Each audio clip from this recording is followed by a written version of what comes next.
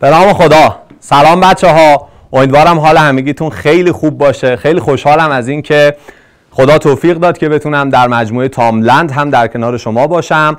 یه توضیحاتی در مورد کلاس به شما خواهم داد و نحوه کارمون تو کلاس مجموعه تاملند.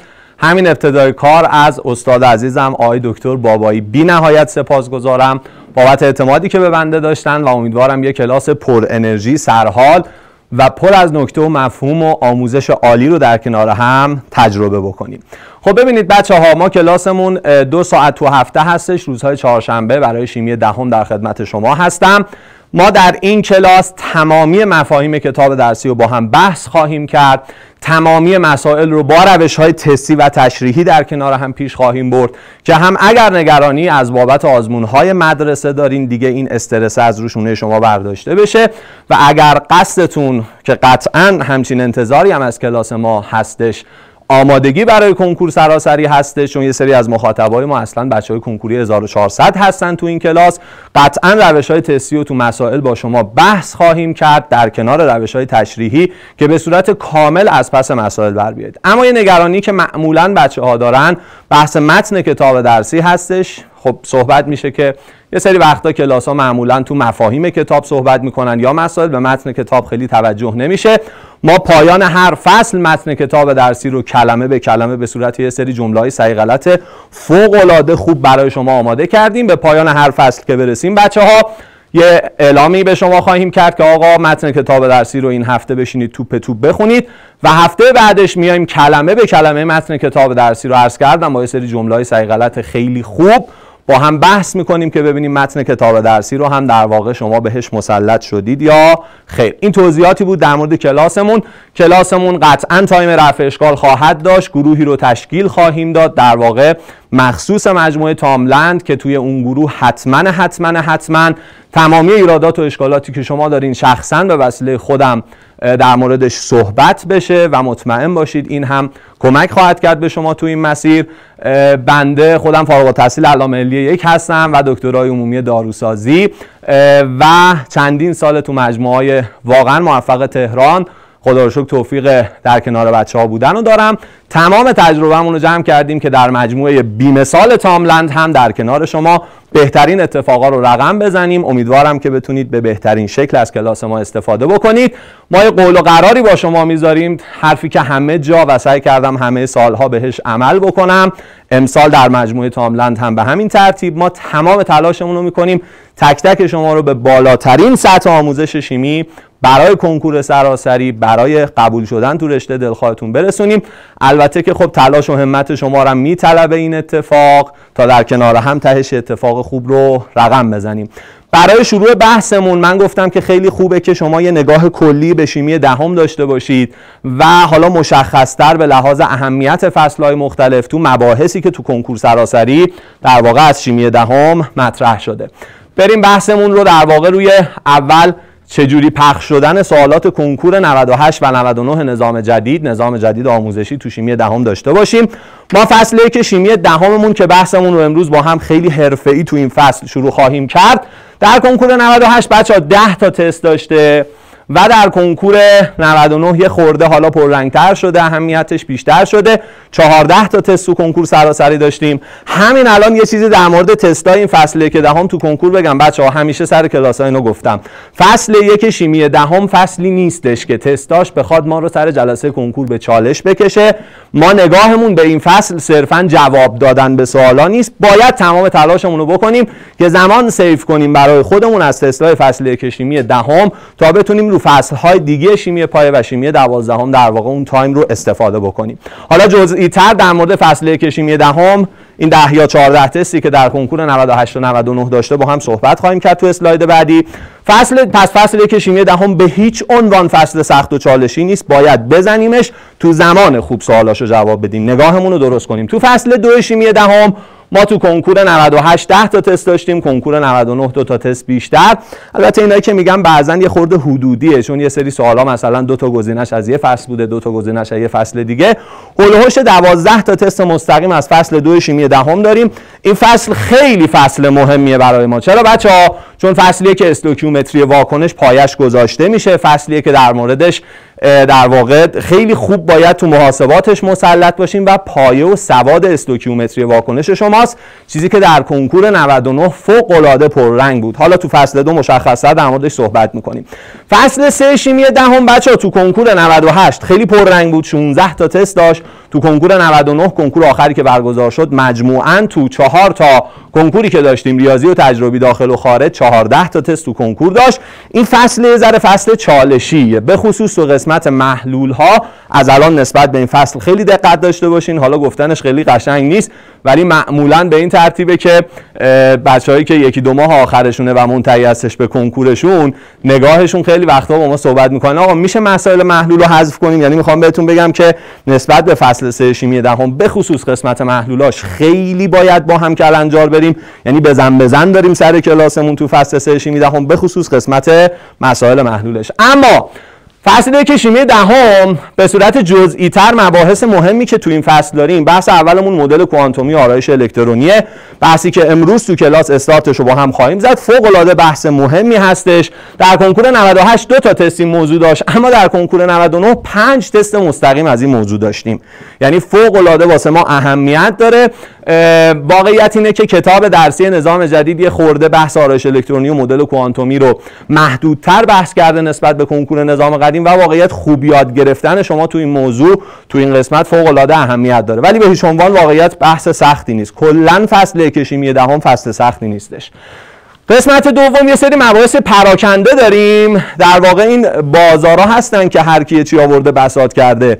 یه سری مباحث داریم تو فصل کشیمی دهم که اینا رو ما کنار هم گردآوری کردیم سعی کردیم دختر گل پسر گل یه نظمی بهش بدیم تو جزوه و تو طرح درسمون. شامل مباحث ایزوتوپ نور مدل اتمی برد. حالا بحث طیفای نشری خطی امواج الکترومغناطیس کلا تو این محدوده برای ما مطرح شده. پنج تست در کنکور 98 داشت و در کنکور 99 هم 6 سوال داشت. به هیچ عنوان این قسمت هم بحث سختی نیستش و مطمئن باشید با آموزش خوبی که ایشالله خواهید دین و سعی و تلاشی که به خرج خواهید داد از پس این موضوع هم برخواهید اومد. فصل یک شیمی دهم یه قسمت محاسباتی هم داره بچه ها حالا متاسفانه یا خوشبختانه البته کلا یه چیز بهتون بگم. ما تو کنکورای دو سال گذشته تقریبا نصف حالا یه خورده بیشتر بحثمون محاسبات عددی بود. و تو کنکور 99 هم حالا نمی‌دونم میگم خوبیشه بدیشه. خیلی از مسئله ما بچه دو بخشی بود. یعنی دو پارامتر دو خواسته داشت مسئله ما. خیلی از گزینه های سوالات دو جواب رو مطرح کرده بود و انگار ما دو تا مسئله برامون قرار داده بودن. واسه همین بحث استوکیومتری مقدماتیمون که تو فصل کشیمی دهم با ما کتاب درسی صحبت می‌کنه هم به خودی خود شاید خیلی پرسوال نباشه تو کنکور ملاحظه می‌کنید. تو کنکور 98 سه تا کنکور 99 کنکور آخری که برگزار شد. مجموعاً در چهار کنکوری که داشتیم. دو تا تست داشت ولی واقعیت اینه که شروع محاسباتمونه دیگه. به قول یارو گفتنی اون خشت اوله که ان با امید خدا باید کنار هم دیگه سعی کنیم که درست بذاریمش تا سریا که ان کنکور شماست دیوار راست بره بالا. و ترکیبات یونی هم در پایان این فصل داریم. ترکیبات یونی ملاحظه بکنید در کنکور 98 بحثش تست مستقیم تقریبا تو کنکور نداشت. در کنکور 99 هم یه تست داشت. دقت بکنید لطفا. آقا بحث ترکیبایانی بحث مهمیه تو شیمی معدنی کلا. پس چرا اینقدر تعداد تستاش کم بوده؟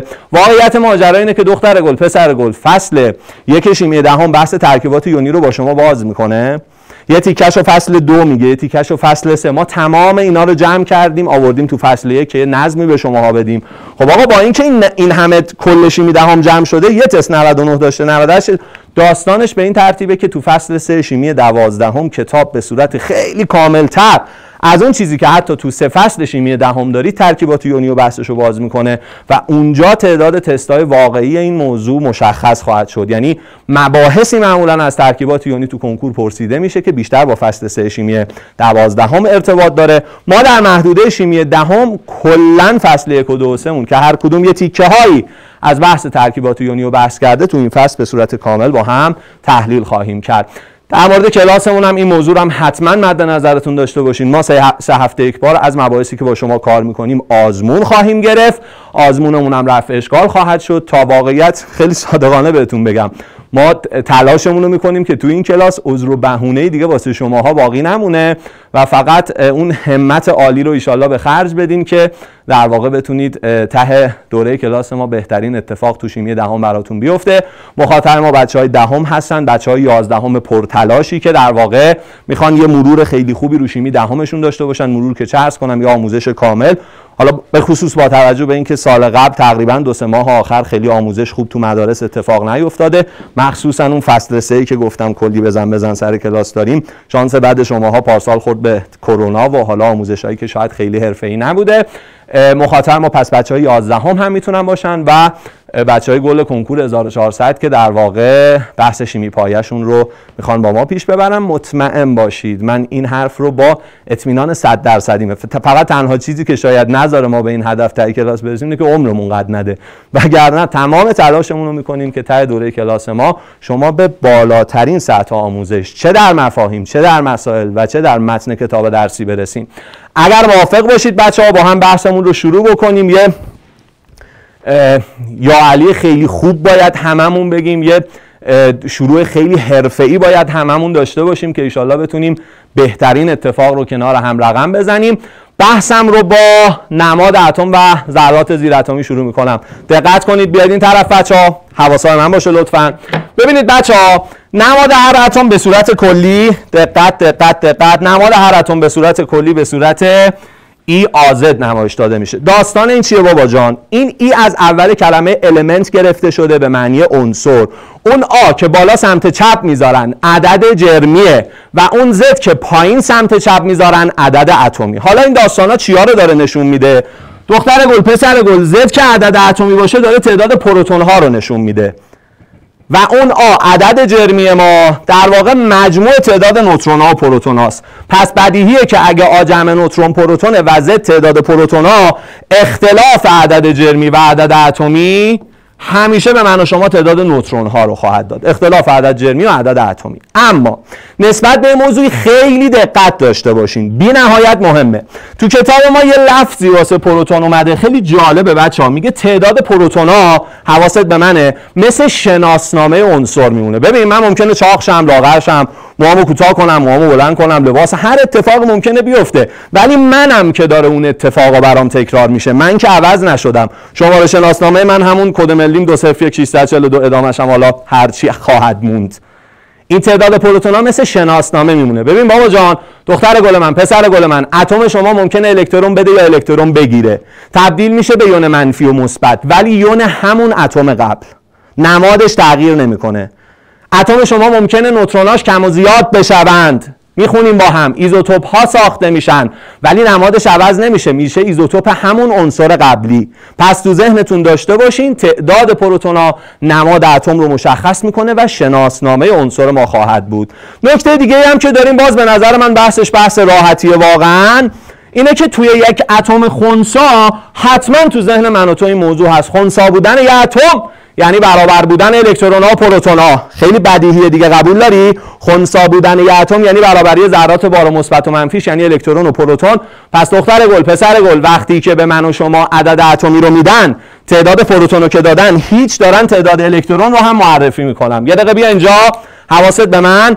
من میگم اگر اتم من خونسا باشه یعنی با یه اتم طرف باشم خونسا. برابری الکترون پروتون به من این در واقع نکته رو القا می‌کنه تو ذهن من میاره که عدد اتمی تعداد الکترون هم نشون میده. فوق العاده این نکته ساده است که حواسا اینجا باشه لطفا که من تو تو ذهنمون باشه. تو اتم منه که الکترون پروتون برابرن. اگه یه موقع مثلا به من یک یون دوباره منفی داده باشن من میگم این رابطه الکترون پروتون رو خیلی خوب داره نشون میده. چه شکلی بابا جان؟ وقتی یه بنده خدایی خونسا بود الکترون پروتونش برابرن الان که دوباره منفی شده چه اتفاقی واسش افتاده؟ یعنی ذرات بار منفیش الکتروناش دو تا بیشترن. پس بار منفی و مثبت نشون دهنده رابطه الکترون پروتون خواهد بود. به چه ترتیبی؟ کسی که دو منفیه یعنی ذرات بار منفیش که الکترون باشن دو تا بیشترن. من میام این شکلی رابطه رو می نویسم که الکترونا میشن پروتونا به علاوه دو. یعنی دو تا بذارم رو پروتونا رو بار مثبت ها تازه میشن اندازه الکترونا که بار منفی دارن. یا اگر بابا جان به من بگن X من مثلا دختر گل پسر گل سه مثبته یعنی داره ادعا می‌کنه رابطه الکترون پروتون به این ترتیبه که بارای مثبت که پروتونا باشن سه تا بیشتره. این رو رابطه ریاضیشو میشه نوشت آقا سه مثبت بودن یعنی پروتونای من سه تا از الکترونا بیشترن. پس من سه تا می‌ذارم روی الکترون تازه برابر پروتونا میشه. پس تو اتم خونسا قبول الکترون پروتون برابرن همون عدد اتمیه اما حتما تو ذهن من و تو باشه. یون منفی و یون مثبت رابط بر اساس باری که داره رابطه الکترون پروتونش مشخص میشه. مثلا تو دل خودت بگو یه یونی که یک بار منفیه بچه رابطه الکترون پروتونش چیه؟ بارای منفی یه دونه بیشترن پس الکترون من میشه پروتون به علاوه یک یعنی یه دونه بذارم رو پروتونا تازه میشه اندازه الکترون. یا وقتی یه یونی مثلا دو مثبته یعنی چی بچه یعنی بارای مثبت که پروتونا هن دو تا بیشترن. پس من دو تا بذارم روی الکترونام. تازه میشه اندازه پروتونا. اینا رو قراره تو مسئله ازش استفاده کنیم و خواهشن با دقت گوش بدینا با همه حواس جمعیتون. من همیشه گفتم تو کلاس مجازی بچه ها تو کلاس این فرم فرم آنلاین دو عامل 100 درصد تاثیرگذاره در آموزشی که شما می‌بینید. یعنی در این که چقدر بعد کلاس شما سوادت فرق کرده مهارتت فرق کرده دو تا عامل خیلی تاثیرگذارن. یک اینکه یه تونل بین من و خودت در نظر بگیری. انگار هیچی از پیرامونت نمی‌فهمی. اصلا انگار من و تو این فقط. بابات داره با مثلا صرافی سر کوچهتون در مورد نرخ دلار صحبت می‌کنه به ما ربطی نداره. مامانت داره با جاریش غیبت مادر شوهرش رو می‌کنه به منات. هیچی نمی‌فهمیم. هیچیه هیچیه هیچی. من و تو این فقط. این تونله خیلی مهمه ها. به خدا من تمام تلاشمو می‌کنم که خودم از اتفاقات پیرامون استدیو چیزی نفهمم. یه موقع میترسم خدا نکرده زلزله ای هم چیزی هم بیاد من کماکان مشغول صحبت کردن باشم. من تمام تلاشمو می‌کنم. از تو همین انتظار رو دارم. و نکته دوم تو رو خدا این جزوه ها رو حتما پرینتش رو داشته باشین و دست به قلم بشید سر کلاس بچه ها توی مدرسه ای می‌گفتیم یه چیز به ذهنمون رسید به بچه ها گفتیم. گفتیم که آقا این خودکاری که دست شماست. اگه الان که تو کلاس آنلاینی ازش کار نکشی تمرین باهاش حل نکنی نکته باهاش ننویسی این خودکاره که الان کار نمی‌کشی ازش دختر گلم پسر گلم همون خودکاریه که بابا جان سر جلسه میره لای دندونت هی بالا پایین می‌کنه هیچی حل نمی اگه می‌خوای سر جلسه وسط کار کنه تو کلاس ازش کار بکش. نمی‌خوای قاب کنی جزوتو بزنی به دیوار که سفید نگهشته آقا بنویسید نکته بنویسید. در طول کلاس هر چیزی رو متوجه نمیشید علامت گذاری بکنید. تو تایم های رفع اشکال حتما باهاتون خودم شخصا صحبت می‌کنم در موردش. قراره که بهترین آموزش برای شما اتفاق بیفته. خدا شکر تو مجموعه تاملند هر چیزی که شما واسه آموزش خوب لازم دارید فراهمه. این اطمینان رو صد درصد به تک تکتون میدم. پس بحثمو می‌تونم یه ذره ببرم جلوتر. این نکته چهار و پنج من یه کوچولو شاید دقت بیشتری بخواد. یعنی یه کوچولو این دقت تو رو من خیلی بیشتر از نکته های قبلی می‌خوام. نکته های قبلی واقعیت خیلی سخت نبود. نکته چهار میاد میگه آقا جون هر موقع تو سوال در مورد اختلاف نوترون و پروتون با تو حرف زد تو به جز اتمی که در موردش صحبت می‌کنیم حق داری این اختلاف رو بنویسی ان های پی آقا حفظیه؟ نه به خدا حفظی نیست. شیمی انقدر مطلب حفظی داره که من باید تمام تلاشمو بکنم. تو باید تمام تلاشتو بکنی که اون چه که میشه فهمید و بفهمیم. دیگه چیزای مجبوریم حفظ بکنیم دیگه. در کنکورم سه چهار تا حفظی رو دادن. هم 98 هم حفظی صرف بچه ها هیچ فهمی عملا تو سوال نبود. پس اجازه بدید چیزی که میشه بفهمیم و بفهمیم. من میگم اختلاف نوترون و پروتون هر موقع بگن دو سه پنج ده کوفت هر چی تو باید بنویسی n من های پی داستان چیه؟ یه دقیقه به من دقت کنید بچه ها. ما می‌دونیم که پروتون ها و نوترون ها تو هسته اتم قرار گرفتن و پروتون که بارشون مثبت بینشون دافعه وجود داره. دیگه سر این که من و تو بحث و چالش با هم نداریم. پس چجوریه که اون پروتون ها تو هسته رقم این که باید همدیگه رو دفع کنن چسبیدن تو اون هسته به صورت متراکم توی فضای خیلی کوچیکی به اسم هسته؟ واقعیت اینه که نوترون ها اینجوری در نظرشون بگیرید. ان ملات سیمانی ان چسب. اومدن باعث اتصال این پروتونا به همدیگه شدن. یعنی اجازه اینو نمیدن پروتونا همدیگه رو دفع کنن. پس انگار نوترون حضورش تو هسته اتم باعث میشه پروتونای بین در واقع دافعه بین پروتونا از بین نبره اون پایداری هسته رو. پس من سوال از تو بپرسم. آقا ده نفر دارن همدیگه رو می‌زنن لتو پار می‌کنن. من و تو چند نفر باید باشیم؟ چند نفر باید بیان کمک ما تا بتونیم این ده نفر رو بینشون دعوا رو بخوابونیم؟ آقا ده نفرن باید حداقل ده تا باشیم بینه که هر کدوم یکی از اینا رو بگیریم انگار که دعوا بخوابه. پس من اعتقادم بر اینه که آقا اگر نوترون می‌خواد تو هسته هسته رو پایدار کنه نظر دافعه بین پروتونا. باعث ناپایدار شدن هسته بشه باید حداقل اندازه پروتونا من نوترون داشته باشم. پس اگه یه به من میگن اختلاف نوترون و پروتون پنجه من و تو فهمیدیم. هیچ موقع نوترون نمی‌تونه 5 تا پروتونا کمتر باشه. پس همیشه انمن های پی نوشته بشه. شرط پایداری هسته است بابا جان من که نوترونا بزرگتر مساوی پروتونا باشن. یه استثنا داریم این وسط. بله داریم. اونم اتم هیدروژنه. آقا هیدروژن که عدد اتمیشیه که عدد جرمیشیه که یه دونه پروتون تو هسته داره. اون چجوری بدون نوترون پای داره؟ آقا من مگه اینکه خود آقا دروغ میگم. مگه اینکه من خود درگیری داشته باشم شروع کنم خودم رو بزنم یکی بیاد منو کنترل کنه. وگرنه کسی کنار من نباشه که من با کسی دعوا ندارم. نیازی نیست کسی بیاد منو کنترل کنه. هیدروژنی که یه پروتون تو هستش داره کیو می‌خواد اون پروتون دفع کنه؟ پس نیازی به حضور نوترون نیست. بدون نوترون هم پایداره پس بابا جان دختر گل پسر گل. همیشه رابطه این بزرگتر مساوی پروتون شرط پایداری هیدروژن بذاری کنار که از این قاعده در واقع مستثنا جداست. بقیه همیشه اختلاف نوترون پروتونشون N منهای P گفته میشه. چرا؟ باید نوترونا یا اندازه پروتون یا بیشتر باشن که پروتونا دعوا نکنن. دافعه پروتونا باعث ناپایدار شدن هسته نشه. هیدروژن چرا بدون نوترون پایداره؟ چون یه دونه پروتون تو هستشه کیو می‌خواد دفع کنه؟ این نکته چهار نکته خوبی بود ولی واقعیت باز نکته خیلی چالشی واسه ما نیست. نکته پنج رو بی نهایت خوب گوش بدین. اینا سوال ازش مطرح میشه ها. آزمون های آزمایشی خیلی در مورد اختلاف نوترون و پروتون اختلاف خیلی از اینا سوال میدن. خوب گوش بدین. این حرف من رو باید بفهمید. قرار نیست حفظ کنیم.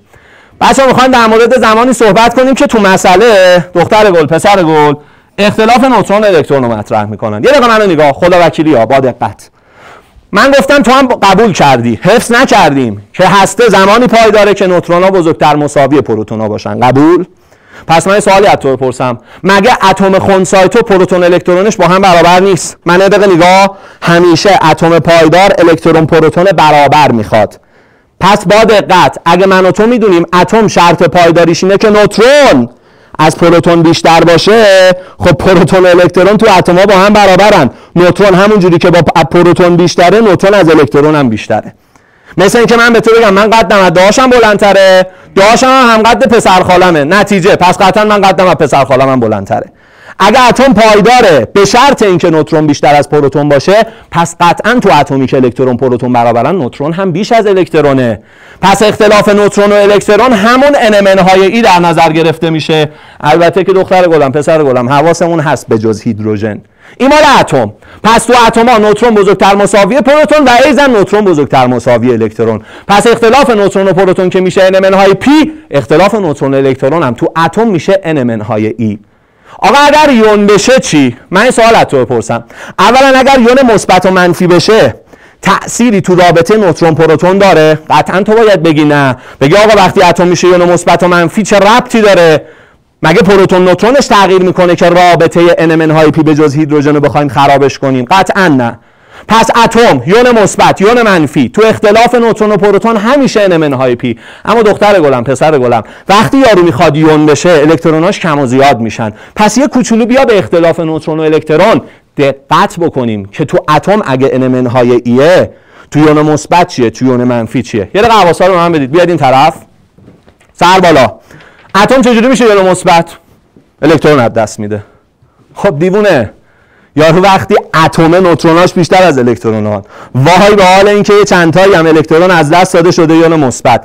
قبول داری تو یون مثبت هم قطعا اختلاف نوترون الکترون انمن های ایه میگم یارو اتم نوتروناش بیشتر از الکترون چرا 5 دقیقه پیش توضیح دادم؟ اتم زمانی پای داره که نوترون بیشتر از پروتون باشه. خب پس تو اتما پروتون الکترون که برابرن پس نوترون از الکترون هم بیشتره. حالا تو اتمش نوترون بیشتر از الکترونن هیدروژن بذاریم کنار. وای به روزی که یارو بشه یون مثبت یعنی اون اتمه. یه چند تایی هم الکترون باز از دست بده. آقا من قدم از داشم بلندتره. بعد داشم خودش از پسرم من قدش بلندتره. پس قطعا من قد بلندتر از پسرم تو تو اتم نوترونا بیشتر از الکترونان. وای به روزی که یارو یون مثبت بشه. یعنی یه چند تایی هم الکترون بخواد از دست بده. پس هم تو اتم هم تو کاتیونا یا یونای مثبت همیشه اختلاف نوترون الکترون رابطش میشه ان منهای ای فهمیدیم؟ مطمئن؟ اما دلا بسوزه برای دانش آموزی که سوال اختلاف نوترون و الکترون رو عددش رو بهش میده. و واسه آنیون اختلاف نوترون این شره. بیا اینجا بیا اینجا بیا اینجا.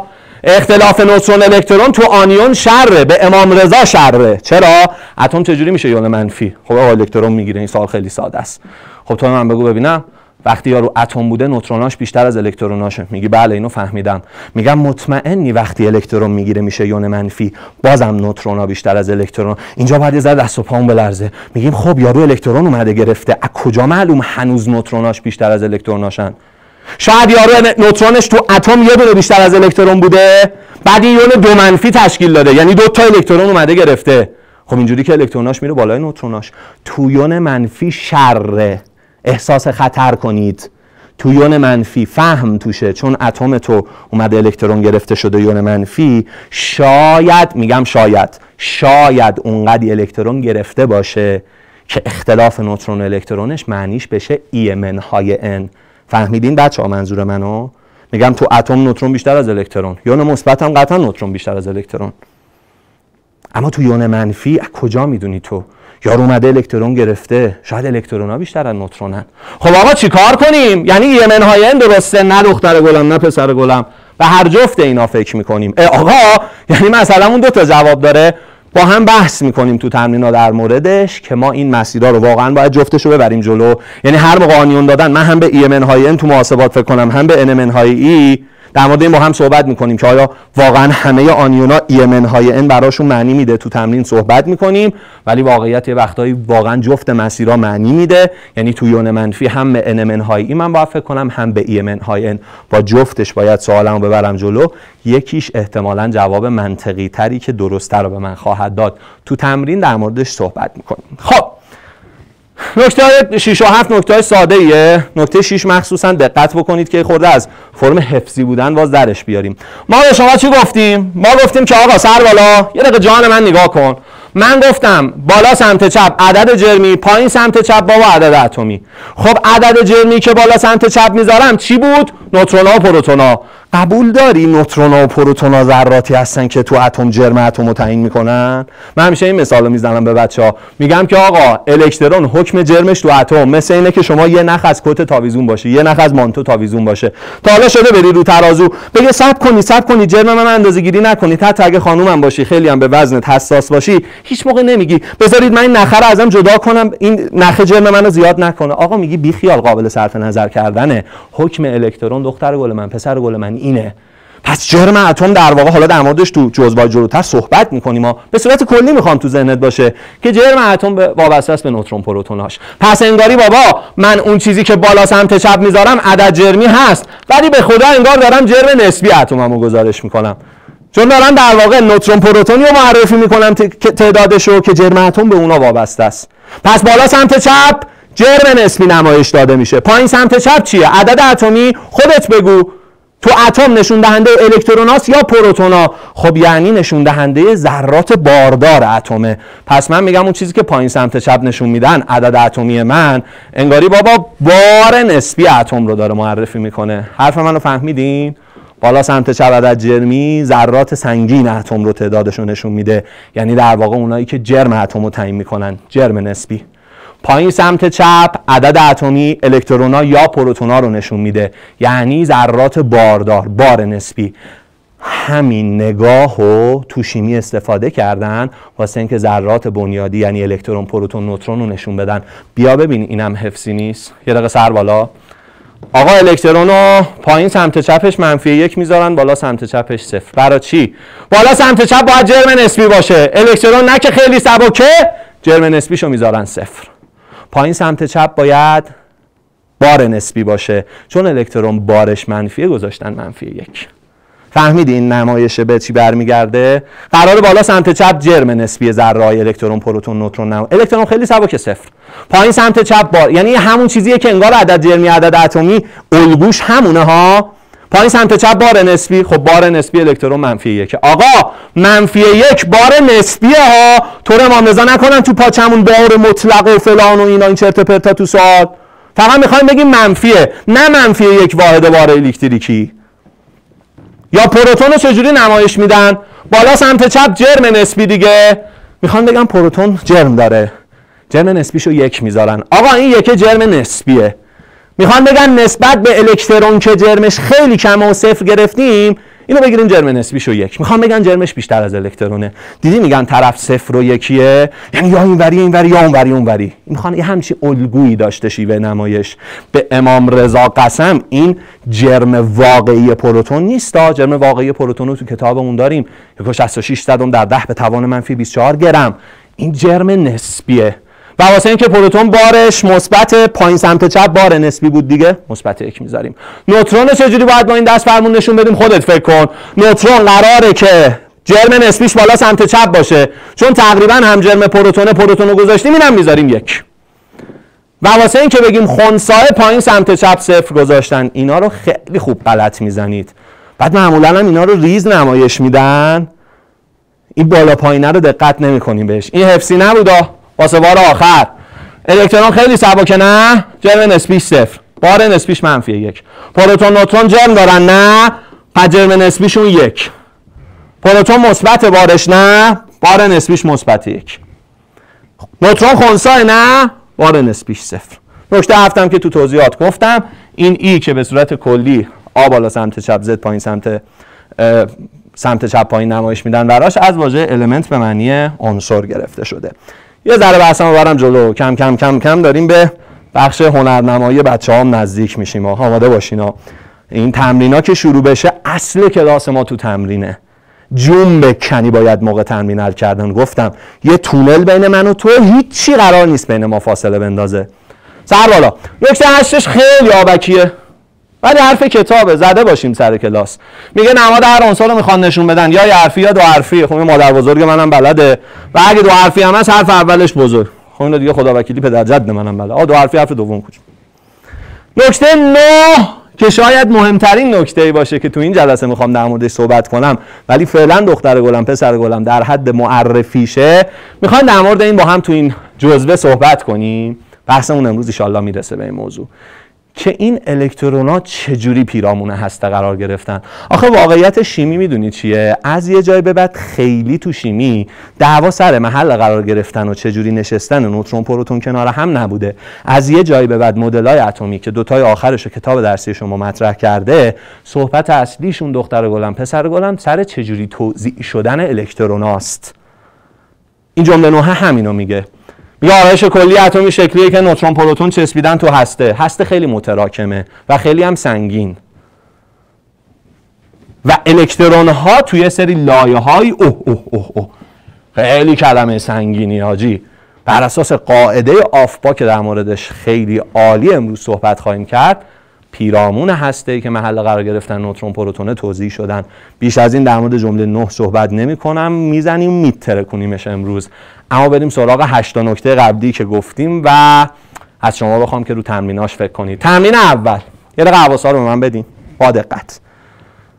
تمرین قطعا تو تایمی که بهتون میدیم باید به جوابش برسین. تمام تلاش تو بکن. خواهشم ازتون اینه. حالا این محاسبش خیلی سخت نیست. ماشین حساب پاشین حساب استفاده نکنید من نیستم ولی خدام هستش تو خونه شما.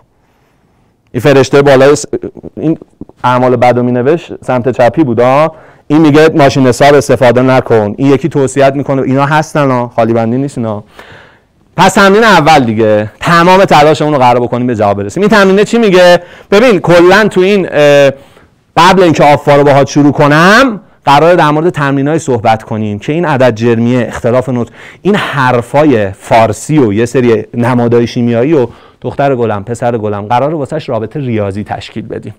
الان سه تا رابطه ریاضی میشه تشکیل داد. تو تمرین اول یه کوچولو کمکت کنم. مثلا سه مثبت بودن این رابطه الکترون پروتونه. باید بتونی بنویسیش. 45 خدا وکیل ما بزرگ ما بلده. عدد جرمیه. جمع نوترون ها و پروتون ها و این آخری چیزیه که شاید در واقع من بحث اصلیم تو این سوال بوده دیگه. سه تا اطلاعات بهت داده. به خدا مطمئنم واسه هر ستاش رابطه ریاضی رو می‌نویسی. نهایتا مجموع ذرات زیر اتمیش رو حساب بکن واسه این یون. وقت بدیم به بچه ها می‌تونیم؟ یا مثلا چقدر؟ 60 ثانیه خوبه. یه آقا تمرین اول دیگه. خیلی اذیتتون نکنیم. بیر بیر به قول ترکا. قدم به قدم. یکی یکی. بریم سر وقت این تمرین 90 ثانیه به بچه ها وقت بدیم. با دقت ها بدو!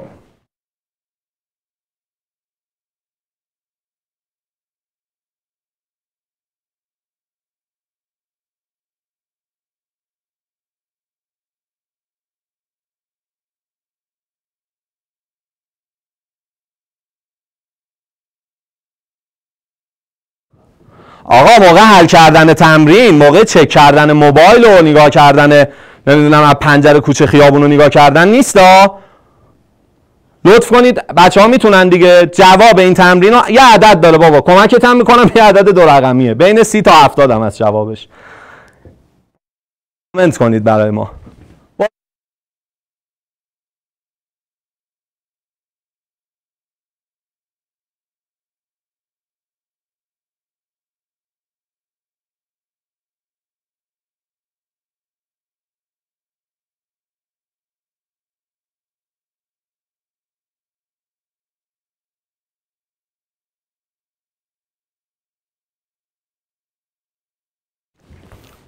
آقا اگه خجالت می‌کشین روسری کنید سرتون ولی تو چت من عدداتون رو ببینم تعارف نداریم اینجا. بدو.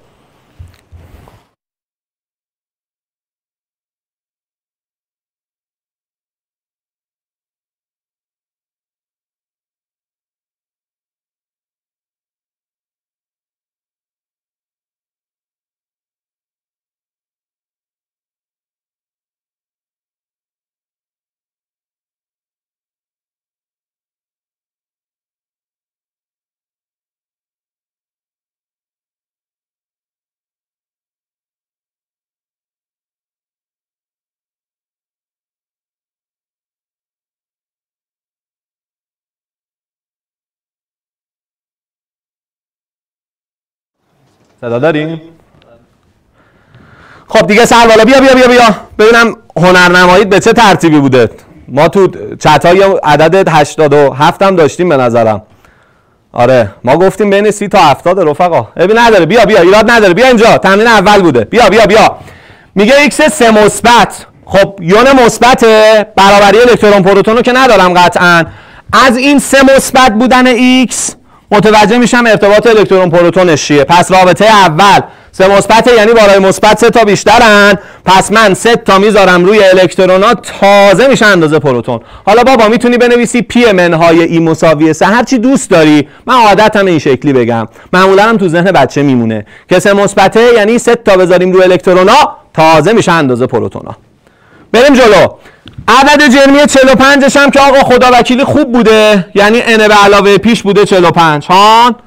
این گیرش شاید این بوده که اختلاف نوترون و الکترون شیشه. من چی در نظر بگیرم اینو؟ من سوال از تو پرسم یارو وقتی اتم بوده نوتروناش بیشتر از الکترونان. قبول داری؟ حالا چه برسه به این که شده یون سه مثبت؟ یعنی سه تا الکترون از یارو کندیم. قطعا نوترون بیشتر از الکترون بودن. من به تو گفتم توی اتم و توی کاتیون قطعا اختلاف نوترون و الکترون هر کوفتی باشه هیدروژن رو بذاریم کنار ان منهای ای. آقا مگه نگفتم اختلاف نوترون و الکترون توی اتم که قطعا ان منهای ایه شرط پایداری اتم هیدروژن رو بذاریم کنار. باقی اوقاتم باید وقتی کاتیون می‌ذارن جلو فکر کنی حفظی نیست. یا به الکترون داده پس هنوز که هنوز قطعا نوتروناش بیشتر از الکترونان پس بابا چون یون مثبت بوده میگه همون چی بود؟ گفتی شاید میگم شاید یون منفی الکترون گرفته ای من های اند کار بیاد. این که یون مثبت بوده بابا. پس ان من های ای مساوی 6 حالا باید واقعیت ماجرا شروع می‌کردم. یه ذره به ریاضی یارو فکر می‌کردم. شاید جاگذاری می‌کردم ها مثلا می‌گفتم آقا مگه پروتونا نیستن سه به علاوه الکترون؟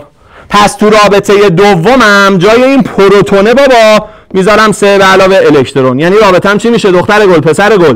n به علاوه ای به علاوه 3 مساوی 45 آقا سه رو می‌برم اون طرف. پس n به علاوه ای من بوده 42 این یه رابطه بین نوترون و الکترون خدای شکرت. یه رابطه خوب دیگه هم بین نوترون و الکترون داشتم.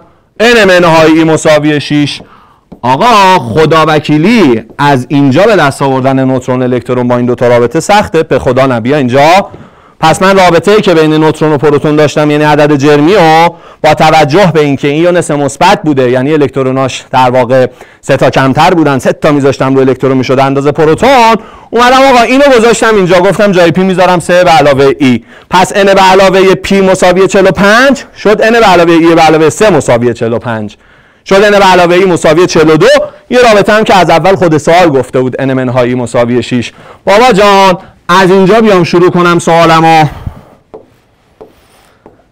از اینجا بیام شروع کنم سوالم و ادامه دادن. این دوتا رو که جمع بکنم خداحافظی می‌کنن الکترونا با هم. دو n من مساوی میشه با 48 بابا پس نوترونای یارو بوده 24 تا. نگاه نگاه نگاه. سوال چی خواسته بود؟ دختر گل پسر گل.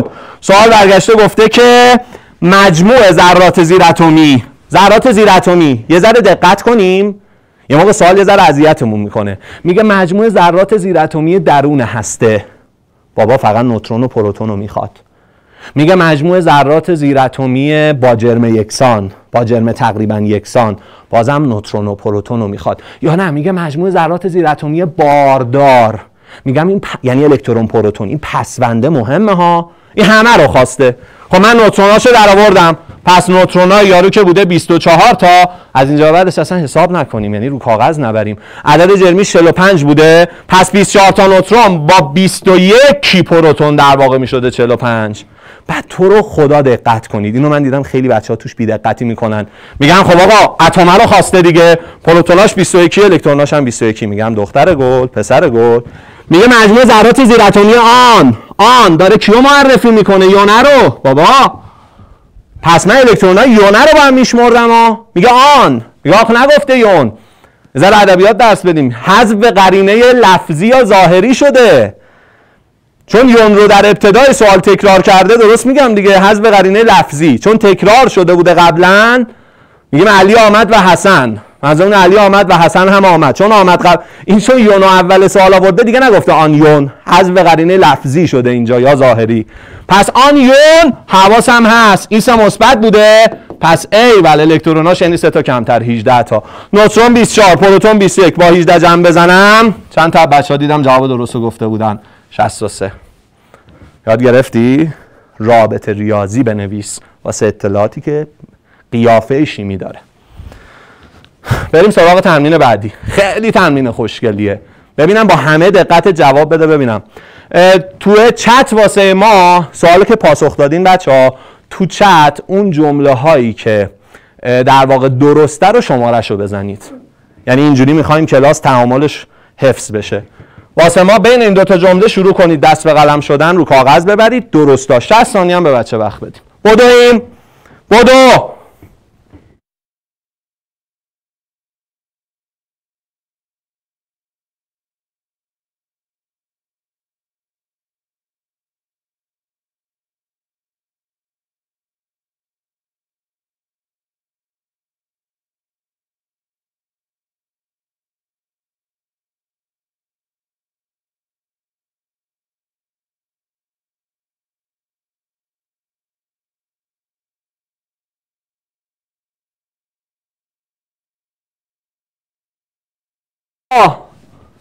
آقا بدو دقت. جون مادرت دقت. تمنا می‌کنم دقت.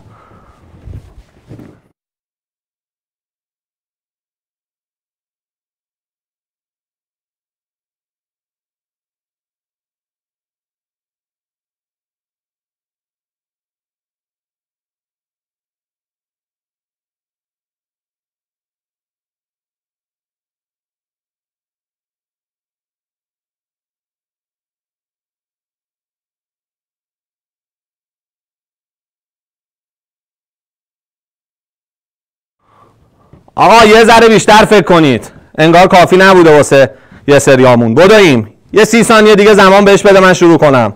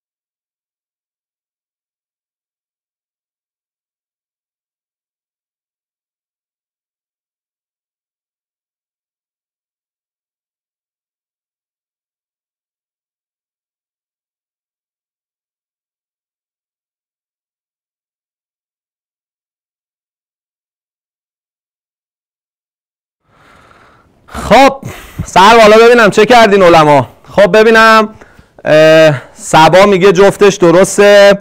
آقای خانم کاربر میگه که به درسته یعنی الف و غلط می‌دونه. محمد ها که هم اسم ما است دو ب رو غلط می‌دونه مثل کاربرمون. سهیلا میگه که جفتش صحیحه. مهدی شریفات میگه نه جفتش غلطه. امیر میگه جفت درست. یه دوست دیگه هم میگه به درست. ببینیم آقا ببینیم کی حواس چندتر از بقیه بوده. سر بالا بیا اینجا بیا اینجا بیا اینجا. سر بالا. با من یا نه؟ برگشته من چی گفته؟ میگه کاتیون کوبالت. میگه کاتیون کوبالت معمولا در طبیعت دارای دو بار مثبته. حواسا به من؟ چی شد برادر؟ جلسه اول خورده طبیعیه ولی آها درست شد. فکر کنم آها ترمین قبلی. میگه که کاتیون کوبالت معمولا در طبیعت دارای دو بار مثبت. آقا مبارکش باشه. دو مثبت. به ماچ این دو مثبت هم درست نشون داده. میگه یعنی چی؟ مثلا میگه دو مثبت بعد سه مثبت می‌ذاره. نه. معنی دقیقه نگاه. ما وقتی یون رو می‌خوایم بارش رو نمایش بدیم اول عدد می‌ذاریم بعد مثبت منفی. تو فصل دو شیمی دوازدهم که عدد اکسایش رو بخونیم اونجا داریم که اگر عدد اکسایش بخوایم نمایش بدیم باید اول مثبت منفی بذاریم بعد عدد. پس این دو مثبت هم واقعا درست نشون داده. بیا اینجا. میگه هستش هم 27 تا پروتون داره دمش هم گرم. عدد اتمیش 27 اوکی تا اینجا. بعد میگه 32 تا نوترون. مگه نوترون پروتون ها نمی‌شدن عدد جرمی آ؟ خب یارو 27 تا پروتون داره 32 تا هم نوترون. جمع اینا می‌شده 59 خب راست میگه. عدد جرمیش هم که درست نمایش داده. بعد میگه چون دو مثبته یعنی بارای مثبتش که پروتونان دو تا بیشتر پس الکتروناش هم 25 تا. راست میگه. این رابطش این بوده دیگه. دو تا میذاشتیم دو الکتروناش می‌شده پروتون. دو مثبت معنیش اینه. آقا همه چی درسته ولی این جمله غلطه. آقا یعنی چی؟ مگه من نگفتم مادر بزرگ منم می‌دونه دو حرفی یا باید حرف دومشون؟ مادر بزرگ من می‌دونه به خدا که این کوبالت شیوه نمایشش اینه. آقا این اینو که دیگه نیپرسن والله قسم متن کتابتونه. تو فصل یک شیمی دهم که جدول دوره عناصر آورده نوشته. برای نمایش عناصر یا یه حرف یا دو حرف حرف دوم کوچیک. اینی که این گذاشته سی او کربن مونوکسیده. حرف دومی اینا که دو حرفی حرف دو کوچیک بابا. یه جا ما حل می‌کردیم یارو میگفتش که اشتباه تایپیه. ما جوابی دادیمش که اینجا نمیطلبه فضا. اشتباه تایپی چیه؟ خیلی جواب خیلی خوشگل بوده سوالش. اصلا هیچی نگم. غلط حرف دوش کوچیک. اینو گفتم الان شاخکات فعال شد. به به هم دقت کردی. میگه کالیفرنیا آقا می‌بینید عنصران واقعیت اسمشون یه ذره چیه لاکچری مثلا یارو یود اسمش. کالیفرنیوم. خدا وکیلی عنصرام بدشانس خوششانس سالم. میگه حالا یه بنده خدای کالیفرنیومه. 153 تا نوترون داره عدد جرمی خب بالا درست نشون داده 251 بعد مگه 251 بابا نبوده جمع نوترون ها و پروتوناش. پدر بیامرز نوتروناشو داده 153 تا. از اینجا حساب کنی بله پروتوناش می‌شده 98 تا. اینم قابل قبول. اوکی دیگه نه. این یارو برداشته کالیفرنیوم سه حرفی نشون داده. ما گفتیم حد اکثر دو حرفی. شیوه نمایش یا حرفی یا دو حرفی. بعد تازه دو حرفی ها دیدیم مثال قبل. حرف دو کوچیک. یه جا گفتیم گفتش من کجا بدونم کالیفرنیوم چیه نمادش؟ گفتم آقا شما نمی‌دونی اسم برادر من چیه. ولی نسترن که نیست اسم برادر من که. شما نمی‌دونی کالیفرنیوم نمادش. والا به خدا نمی‌دونی کالیفرنیوم چیه. ولی مهم اینه که سه حرفی نیست. حالا هر چی هست. Cf نمادش هم تو اونایی نیست که تو بخوای حفظ باشی. ولی یعنی تو کتاب بحث نشده در مورد گروهش به خصوص. آقا سه حرفی نداریم. هر چی. حالا بریم تو جدول ببینیم نمادش سی افه دقت تو کلاس ما باید بره بالا. مهارت مفهوم مسئله محاسبه همه اینا ابزارهای موفقیت تو درس شیمیه. شیمی یه جوراییه که هر چی درسای دیگه دارن تو شیمی لازمه.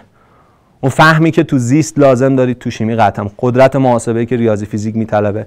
اون حفظی که شاید یه سری چیزا مثل تاریخ ادبیات و لغت و اینا داره اینجام یعنی یه آش شعله قلمکاری شیمی. ان با هم یه عاقبت خوبی سرش پیدا بکنیم. تمرین بعدی. تمرین جوندار ها روش فکر کنید. پارامتراش یه دقیقه سر بالا. اولین اطلاعات تفاوت الکترون نوترون. اوه اوه اوه اوه شر رو ببین. شر اعظم هم است چطور؟ یونش سه منفی بود. یعنی خیلی مطمئن نمیشه گفت ان منهای ای به این فکر کن. شاید این که سه منفی شده اومده سه تا الکترون گرفته شاید اختلاف الکترون نوترون معنیش ای ام های. فکر کن نمیگم قطعا ای ام های انم هست. ولی به این فکر کن. تو این که سه منفیه یعنی سه تا الکترون گرفته حالا معنی می‌داده که چون اختلاف نوترون الکترون ده الکترون ها ده تا بیشتر از نوترون ها باشن. به این فکر کن. ببین ام های n تو آنیون باید بهش فکر کرد که قابل نوشتن هست یا نه. پس یه رابطه. این هم که دیگه مادر بزرگ ما ولد عدد جرمی. سه منفی هم که رابطه بین الکترون پروتونه. شروع کنید نوشتن. آقا دو دقیقه وقت بدید بهشون. گو آره آره گزینه گزینه. گزینه بزنید برا ما بدو این بدو این بدو این بدو!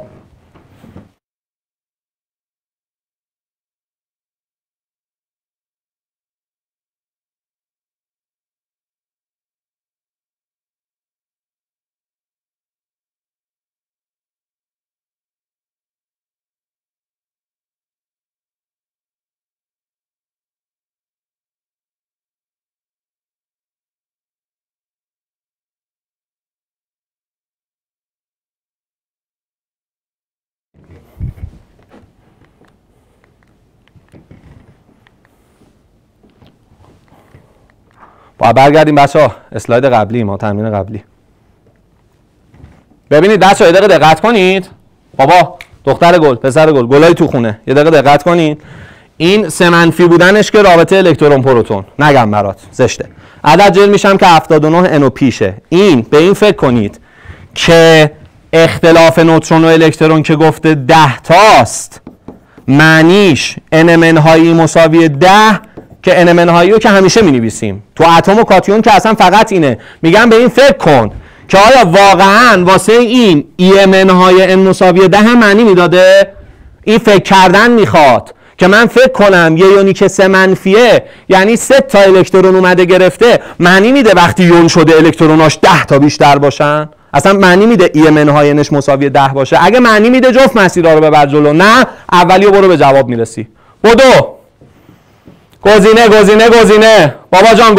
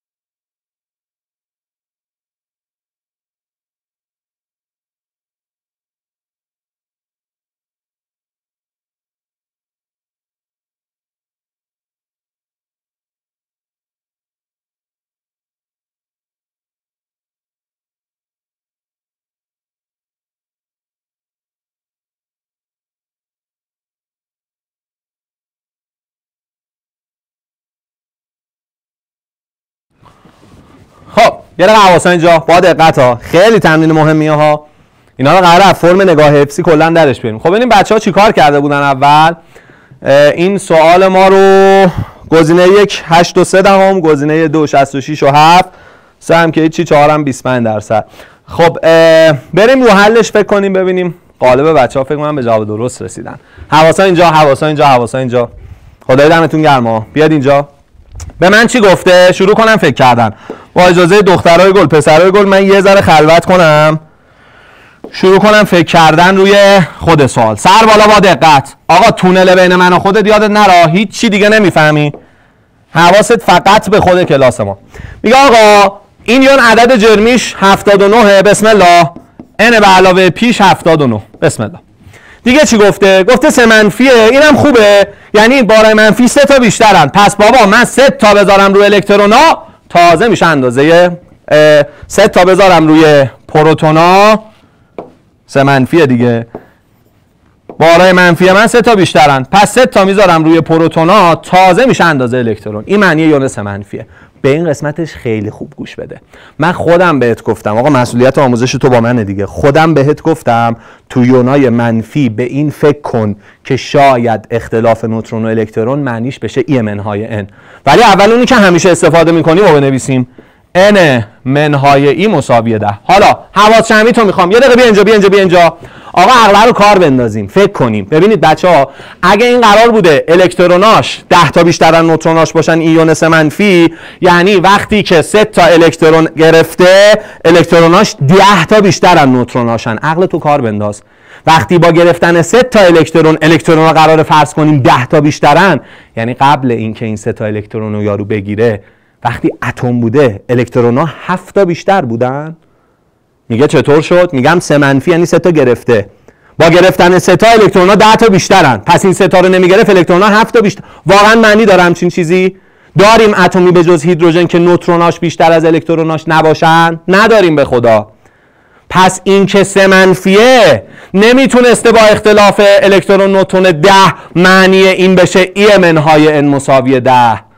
یارو سه تا گرفته الکتروناش 10 تا بیشتر شده یعنی از اول 7 تا بیشتر بوده معنی نمیده این. نکتهشو میگم می‌نویسی. پس این مسیر ایمن های انش اصلا معنی نمی‌داده. چه معنی داره یه یونی که سه تا الکترون اومده گرفته الکتروناش 10 تا بیشتر شده باشن؟ وقتی یه یونی سه منفی میشه و سه تا الکترون می‌گیره بابا اگر می‌خوای تفاوت الکترون نوترون رو بنویسی ایمن های ان فقط یونه یه منفی اگه یون تو سه منفیه فقط اختلاف نوترون الکترون. اگه یکی دو تا یا سه تا باشه معنی ایمن های انم واسش استفاده میشه. یونس منفی نمی‌تونه اختلاف نوترون الکترونش حتی چهار تا بشه. بعد ما این رابطه رو بنویسیم EMN های N. می‌دونی چرا؟ چون وقتی میگیم EMN های N شده چهار یعنی میگیم این سه تا الکترون گرفته اختلاف شده چهار تا الکترون ها چهار تا بیشترن.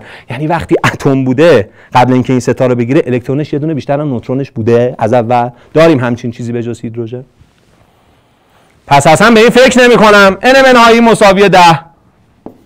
خیلی خوب شد شر این قضیه تو آنیونا بود که اختلاف الکترون و نوترون شاید ایمن های هم بخوام بنویسم. میگم زمانی می‌تونی این کارو بکنی که اخت بنویسین نکته رو. زمانی حد ببین اتم و کاتیون که هیچی ان های ای. تو آنیونا اختلاف الکترون و نوترون زمانی ای های ان نوشته میشه که اختلاف نوترون و الکترون بیشتر از بار منفی نباشه. یعنی یون سه منفی تو اگه اختلاف بودن چهار تا یا بالاتر بازم فقط به انمن های ای فکر می‌کنم. تو فهمیدی حفظ نکردی یا چون میگی سه منفیه یعنی سه تا الکترون گرفته. پس اگه اختلاف نوترون الکترون تو یونه بوده چهار تا معنی نمیده ای من های اینو مساوی چهار بنویسم. چرا؟ چون وقتی الکترون ها ادعا می‌کنم چهار تا بیشترن با گرفتن سه تا الکترون چهار تا بیشتر شدن یعنی از اول الکترون یه دونه بیشتر بوده خودش تو اتم معنی نمیده که همچین چیزی هیدروژن رو بذاریم کنار. پس اصلا به این فکر نمی کنم شروع می کنم بحثم رو با همین جلو بردن. سر بالا با دقت. جای الکترونش می‌ذارم سه به علاوه p. اینجا آ آ. پس n منهای e جای e می‌ذارم سه به علاوه p. منفی سه تو منفی تو سه و p ضرب میشه. میشه n منهای سه منهای p مساوی ده. منفی سه رو با اجازه بزرگتر می‌برم اون طرف. n منهای p مساوی 13 میشه. آ آ. این رابطه بین نوترون پروتون بر حسب پروتون نوشتم الکترونامو. بابا جان اینم که یه رابطه بین نوترون و پروتون. حالا n منهای p شده 13 n به علاوه p شده 79 می‌تونم اینا رو جمع کنم نوترون به دست بیارم بعد به پروتون یا عدد اتمی برسم. نه دلت نمی‌خواد منم باهات موافقم. بیام مثلا اینو تو یه دونه منفی یک ضرب بکنم که در واقع بشه منفی n به علاوه p مساوی منفی 13 بگم این یه رابطه بین نوترون پروتون اینم یه رابطه بین نوترون پروتون. حالا نگاه کن n به علاوه p 79 با منفی n به علاوه پی 13 اینا که با هم جمع بشه n با منفی n میره این دوتا کادرابیا پی با پی میشه دو پی 79 هم هم. این هم که میشه منفی 13 دیگه. 79 هم, هم با منفی 13 جمع کنم میشه 66 پس دو تا پروتون من مساوی بوده با 79 به علاوه منفی 13 یعنی دو تا پروتون 66 پروتون هم 33 گزینه دو. یه بار دیگه می‌دید چند نفر گزینه دو زده بودن؟ مرسی. پاسخ این تست ما گزینه دو بود. مرسی بچه. قریب به اتفاقتون. بعدم یکی به ما می‌گفت آقا عدد اتمی یونه رو می‌خواست فرق می‌کرد. آقا عدد اتمی فرقی نداره که. تنها چیزی که دختر گلم پسر گلم فرق داره واسه یون بپرسه یا اتم یعنی شاخکات حساس شه کیو پرسیده؟ تعداد الکتروناس. نسبت به موضوع هم دقت. تمرین بعدی محشره. بریم بریم تمرین بعدی. تو خدا وقتی که میدیم رو سوال فکر کنید. این موفق می‌کنه شما رو. گوش بده گوش بده ماه تمرینش. اطلاعاتی که داده دو منفی که رابطه الکترون پروتونه. یعنی بالای منفی دو تا بیشترن بیشتر توضیح ندم 32 هم که عدد جرمیه. اینا که روتینه. اوکی اینجا رو ببین. میگه تو این یون دو منفی اختلاف نوترون و الکترون دو تاست. من از تو سوالم اینه. آنیونه یعنی شره باید بهش دقت کرد که این اختلاف الکترون نوترونش ای منهای این مساویه دو نوشته بشه. یا ان منهای مساوی دو. این که همیشه معمولا استفاده میشه. تو این تمرین قدم اول رو این فکر کنید. اصلا این می‌تونه استفاده بشه؟ یعنی یه یون دو منفی معنی میده الکتروناش دو تا بیشتر از نوترون باشن. بعدش رو سوال فکر کنید. خیلی سوال خوبیه.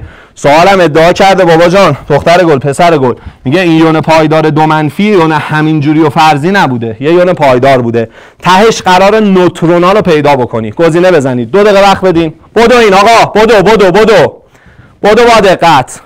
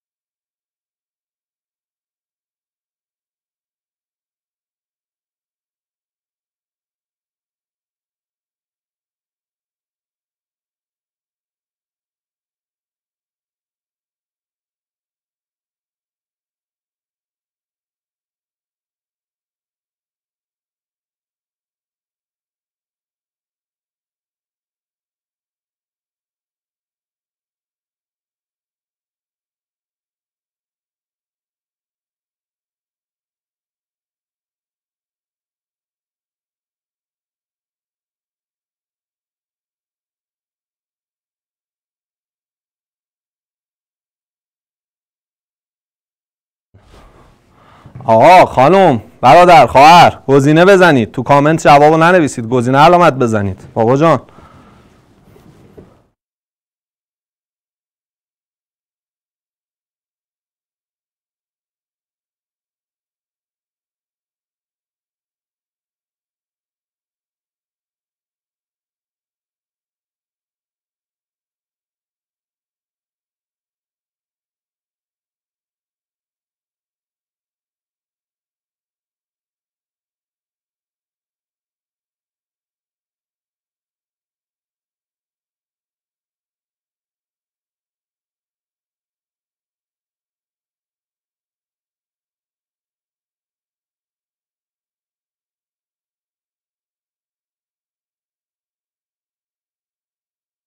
آقا گزینه رو بزن. گزینه رو بزن. بدو. دل پیدا کن. بدو بزن.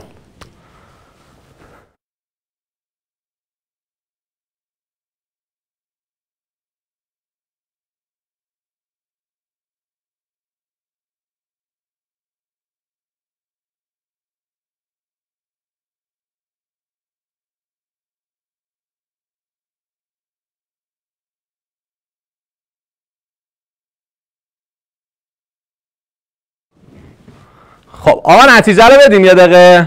من یه دقیقه یه حدسی می‌زنم. من فکر می‌کنم بین دو تا گزینه بچه ها پخش و پلا باشن. البته راستش رو بگم پرسیدم از بچه ها ولی به خدا نمیپرسیدم هم مطمئن بودم بین دو تا گزینه دو بشکید. میشه ببینیم؟ بله بله بله ملاحظه می‌کنیم. 50 50 50 50 یه سری هم یعنی اصلا باید به این اتفاق می‌رسیدیم. چیزی جز این دوتا گزینه می‌زد کسی یعنی اصلا تو کلاس ما استفاده نکرده. تا الان چیزی یاد نه. خیلی دوست داشتم این خدایی باحال بود. خب حالا این بچه هم که درست دادن جان پنج نفر اولی که درست جواب دادن. خب خانم سبا خانم یا آقای کاربر. اینا فکر کنم خیلی خجالتی همین. سهیلا خانم و امیر رضا خب دمتون گرم. اونایی هم که گزینه سه زدن ایراد نداره. بهشون میگم گیرشون کجاست. یه دقیقه سر بالا. اولا که بیا در مورد این با هم صحبت کنیم. دیدی به, به قول یارو گفتنی جنگ اول و صلح آخر. بیا در مورد این با هم صحبت کنیم که اصلا این با توجه به اینکه دو منفی بوده من دقیقه نگاه من کادرم میرم بیرون. با توجه به اینکه این دو منفی بوده می‌تونستم به این فکر کنم که آنیون دیگه شاید الکتروناش بیشترن نوترونان. بیا دقیقه فکر کنیم. ان های مساوی دو که همیشگی می نویسیم میگم تو آنیونا شاید ای ام های ان به کار بیاد. بیا اینجا بحث کنیم با هم. ببین بابا وقتی یون تو دو منفیه یعنی دو تا الکترون گرفته اتم تو.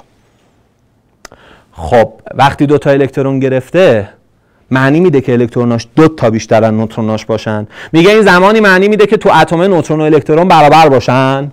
که وقتی شده دو منفی و دو تا الکترون گرفته الکترون دو تا رفتن بالا. میگه خب این لازمش اینه که الکترون و نوترون برابر باشن. خب ما هم که گفتیم نوترون بزرگتر مساوی الکترونه. پس اینجا معنی می‌داده ایمن های ان میشه تمنا کنم فکر کنید حفظ نکنید.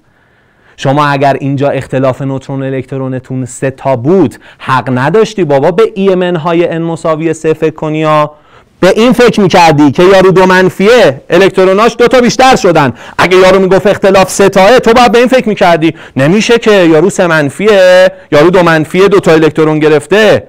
اگه اختلاف شده سه تا یعنی اون اول الکترون ها یه دونه بیشتر از نوترون ها بوده. که الان با گرفتن دو تا و دو منفی شدن شده سه تا میگم اگه می‌گفت اختلاف سه تا مثل قبلی می‌گفتم معنی نمیده این. ولی این معنی می‌داده تو یون دو منفی. معنی میده که الکترون ها دو تا بیشتر باشن. خب لازمش اینه که الکترون نوترون تو اتمش برابر باشن که همچین چیزی ممکنه.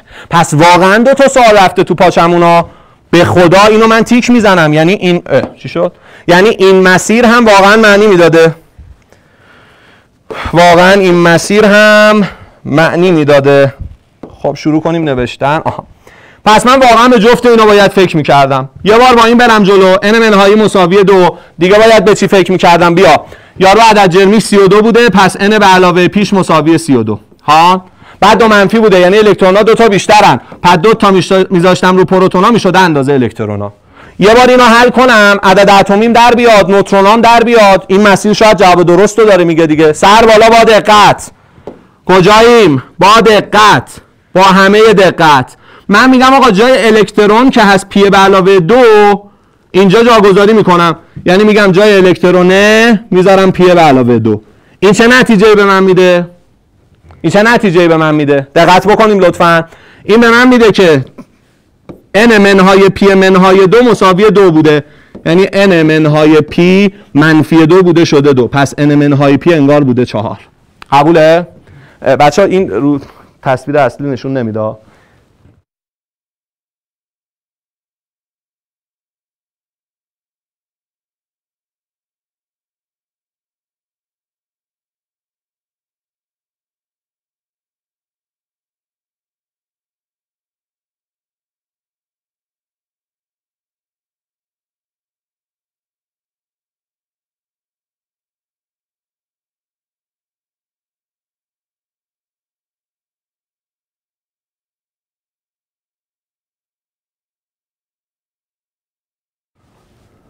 بچه یه ایراد کوچیکی پیش اومد الان برطرفش می‌کنیم که شما تصویر حل و کامل داشته باشین. یه دقیقه اجازه بدین تحمل کنیم.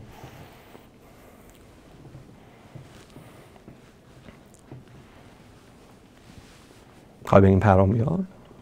اوکیه. خب تصویر رو داره بچه.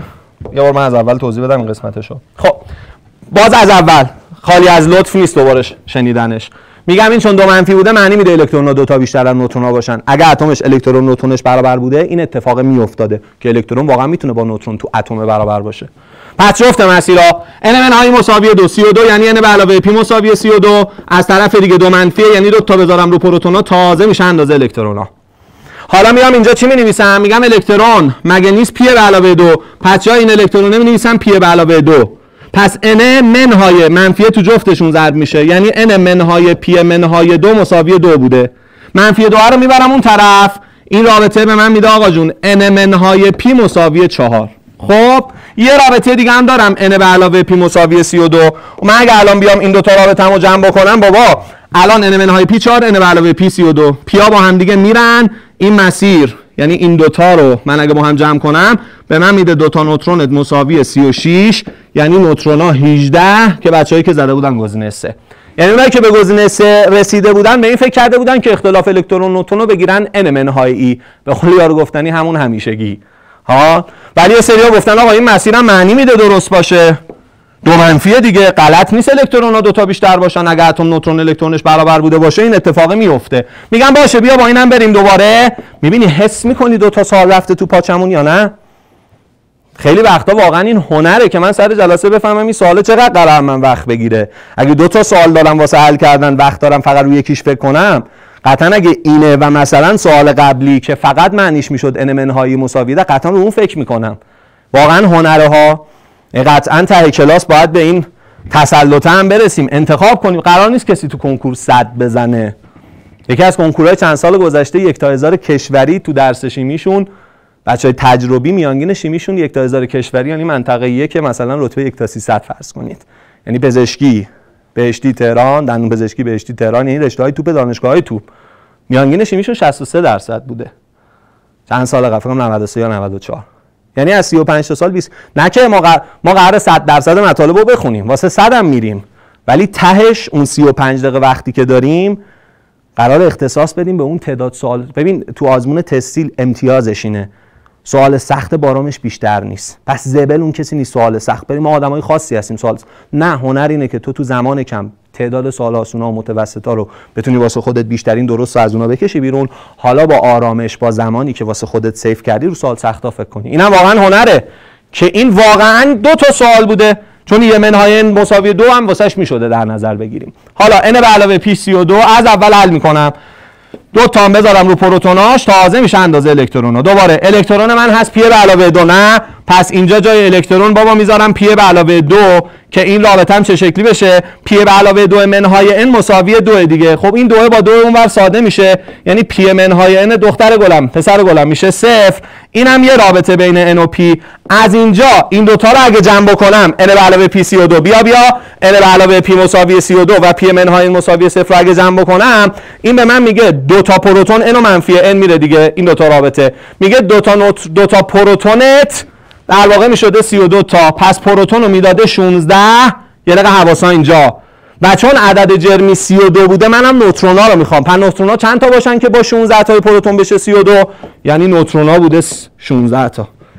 که عدد جرمی 32 رو ایجاد می‌کرده. اوه اوه اوه آقا. یه مسیر داد نوترونا 16 تو گزینه ها هست. یه مسیر داد نوترونا 18 تو گزینه ها هست. کدوم؟ یه دقیقه بیا اینجا با دقت. به تو گفته یون چی بابا؟ پایدار. یون پایدار لفظ سنگینیه ها. لفظ سنگینیه. یعنی داره به من میگه آقا این وقتی یون پایداریه یعنی احتمالا شبیه گازای نجیب. اون شبیه گاز نجیب شدنه واسهش اتفاق افتاده. بیا دقیقه فکر کنیم.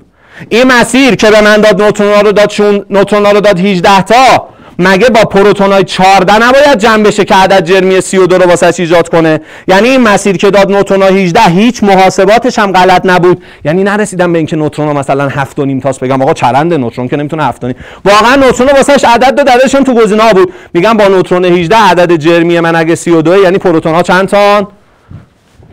این مسیر به من میگه پروتون ها 14 تا یعنی سیلسیوم 14 رو داشتم من. سیلسیوم با عدد اتمی 14 بچه های 11 همه ما بچه های کنکوری ما که اصلا می‌دونن یون پایدار تک اتمی نداره. هیچ. یعنی این مسیر خود به خود همین که طرف می‌فهمید سیلسیوم غلط می‌شد. آقا بچه دهم دانش آموز کلاس ماست. اونم می‌تونه بفهمه. یارو وقتی سیلسیومه یعنی اتم 14 تا الکترون داشته. حالا میگه دو منفیش پایدارش کرده. خب دو منفی بشه این دو تا الکترون اضافه گرفته. خب الکتروناش شده 16 تا. کدوم گاز نجیب 16 تا الکترون داره؟ فهمیدین بچه ها خیلی سوال خوشگلی بودا غلط عددی نداشت تو گزینه‌ها بود نوتروناش. ولی من میگم این مسیر به من می‌داد نوترونا رو 18 تا پروتوناش. پس این سیلسیوم بوده. خب سیلسیوم بچه 11 و کنکوری ما که می‌دونه. یعنی تک پایدار نداره. دانش آموز دهم ما هم باید بدونه. وقتی میگه پایدار یعنی شبیه گازهای نجیب شده احتمالاً. خب این که گاز نجیب نشده. 14 تا الکترون داشته. دو منفی دو تا بذار 16 کجا گاز نجیبه؟ اما بیا بیا بیا بیا بیا! این یکی رو ببین. این مگه نداد پروتونا رو 16 پس این گوگرد بوده با عدد اتمی 16 بچه 11 هم و بچه کنکوری ما که قطعا می‌دونه یون پایدار گوگرد قشنگ اس دو منفیه. پس واقعا واقعا واقعا یون پایدار گوگرد همین دو منفیه که اینجا معرفی کرده. بچه دهم ما می‌دونه الان. چرا؟ یارو گوگرده عدد اتمی 16 یعنی 16 تا الکترون داشته اتمش. بعد دو منفی شده دختر گلم پسر گلم. یعنی دو تا الکترون بهش اضافه شده. شده 18 الکترونه. شده گاز نجیب آرگون. پس واقعا یون پایدار مسیر سمت چپ بوده. خیلی خوشگل بود سوالش. واسه همین جواب ما می‌شده گزینه دو. واسه همین هم بچه های ما نس بودن دیگه همین درسته؟ یا بار دیگه می‌تونی گز... اونایی که گفتن گزینه سه رو حساب کنم اونایی که گفتن گزینه سه یعنی این مسیر رو پیش بردن. غلطی هم نبوده. ولی به این دقت نکردن. یون پایدار بوده. یعنی یه چیزی بوده که احتمالاً گاز نجیب شده. این که پروتوناش می‌شده 14 تا سیلیسیوم که یون تک پایدار نداره که. ولی واقعا این یکی مسیر که گوگرد می‌شده یعنی پروتونا می‌شده 16 تا یازدهمی و کنکوری ما که می‌دونه سولفید دو منفی S دو منفی. بچه دهم ما هم بدونه.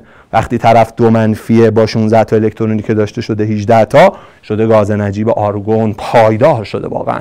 یه بار دیگه ببینیم. واسه همین گفتم من خیلی حال کردم با این اتفاق. 50 50 این خیلی خوب بوده. بریم جلو. بریم سراغ تمرین بعدیمون. یه تمرین یه کوچولو. شاید بچه ها سخت. حالا یه ذره دقت کنیم لطفا. شاید مدلش ذره جذابش کرده. اومده گفته که تعداد نوترونا و تعداد الکترونای این دو تا یون با هم برابر بوده. قبول؟ پس این یه اطلاعات. نوتروناشون برابر الکتروناشون هم برابر. بعد از طرف دیگه عدد جرم من نمی‌خوام حل کنم. من می‌خوام بگم سوال چی پرسیده؟ سوال دختر گلم پسر گلم. به من تو گفته نوترونای آ عدد جرمی آ رو داده دیگه و پروتونای آ بوده 54 تا. دیگه چی پرسیده بابا؟ گفته نوترونای بی به علاوه پروتونای بی یعنی عدد جرمی بی چنده؟ شروع کن رابطه ریاضی نوشتن. این دسته بره رو کاغذ. بدویم؟ بدویم.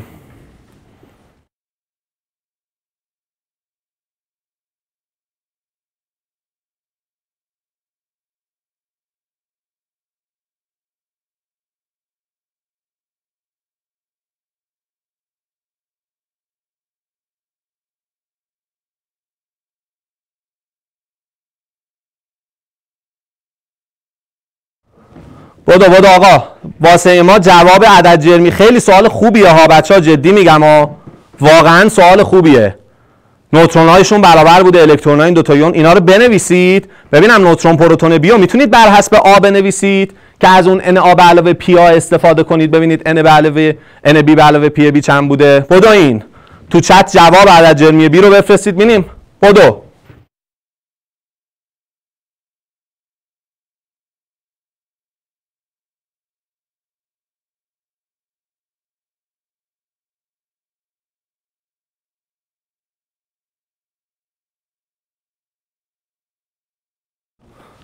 آقا دمتون گرم. چند تا به جواب درست رسیدن ها؟ خدایی خیلی خوب بوده. سوال سوال ساده ای نیست. بدویم.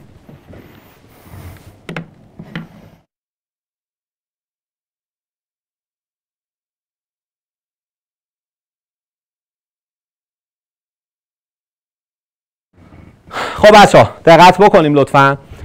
باز جوابارم که داشتیم علی 52 سبا 52 سبا 52 پرنیا 52 سر محمدی کسرا. باری کلا آفرین. آفرین. باری کلا. خوب بوده. خدا دمتون گرم. خواهشان جواب بدین. حتی به غلط.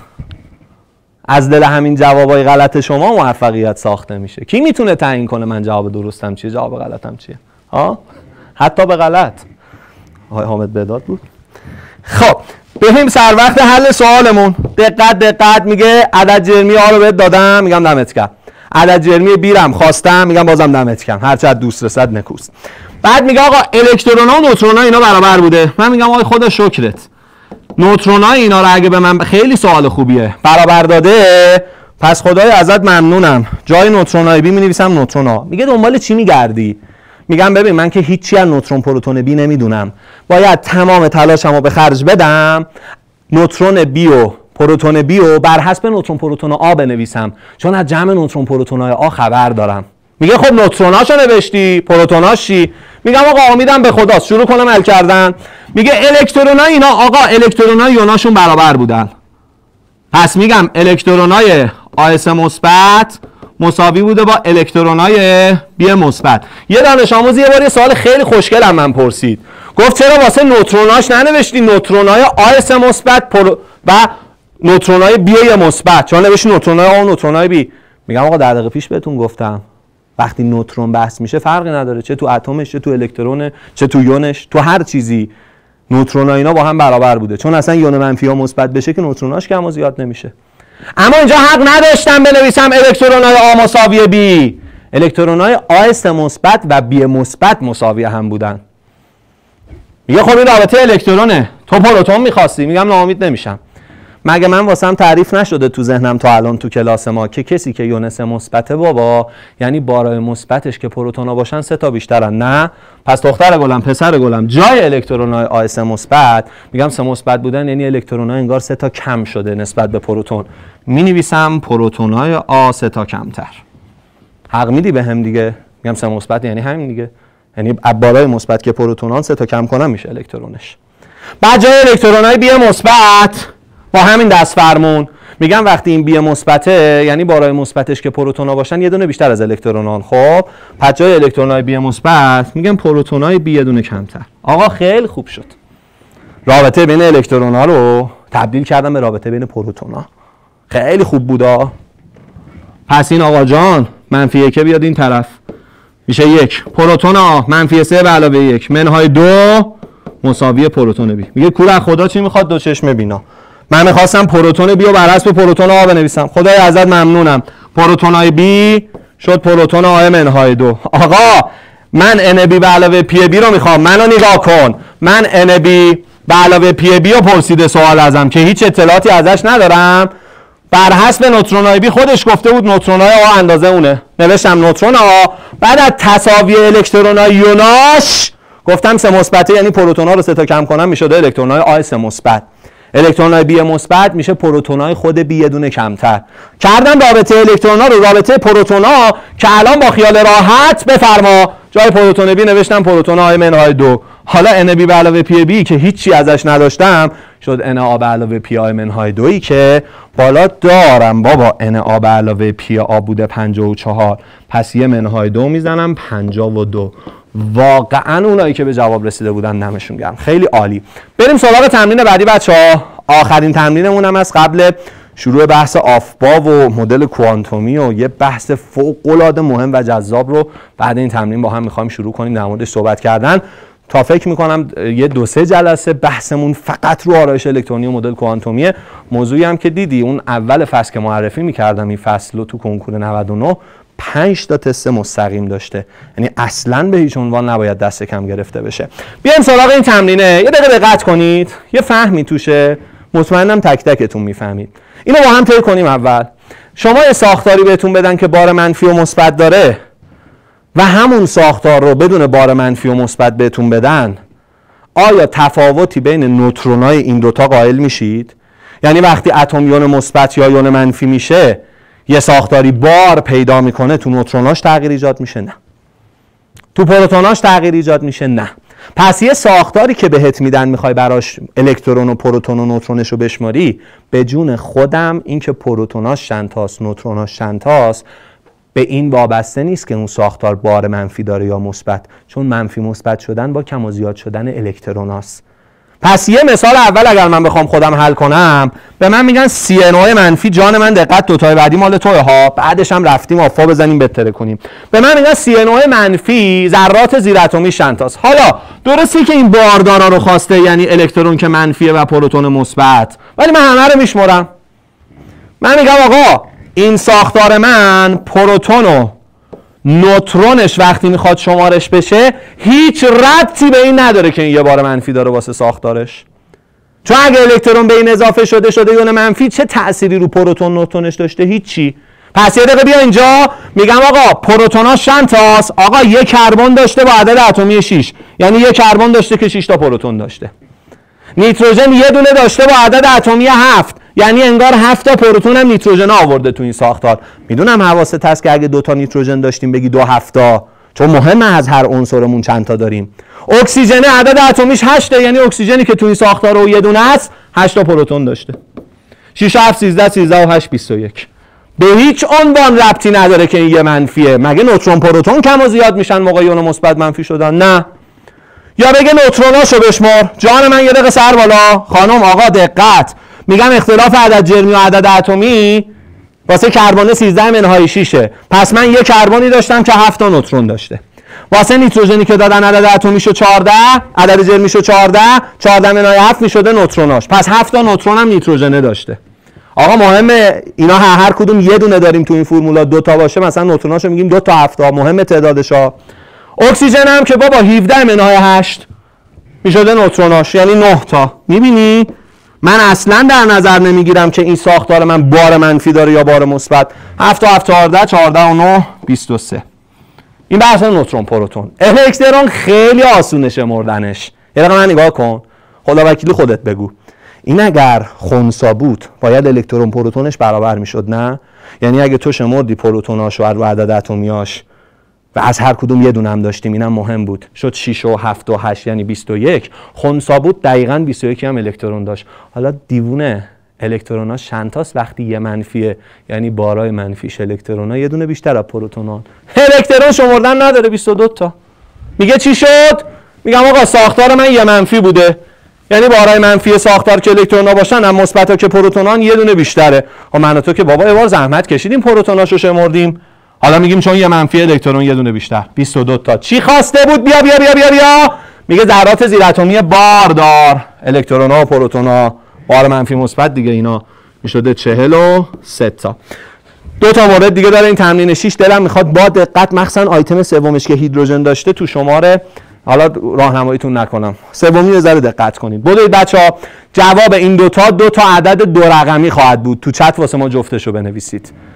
قسمت ب و پ تمرین 6 بدو آقا دست به قلم شیم.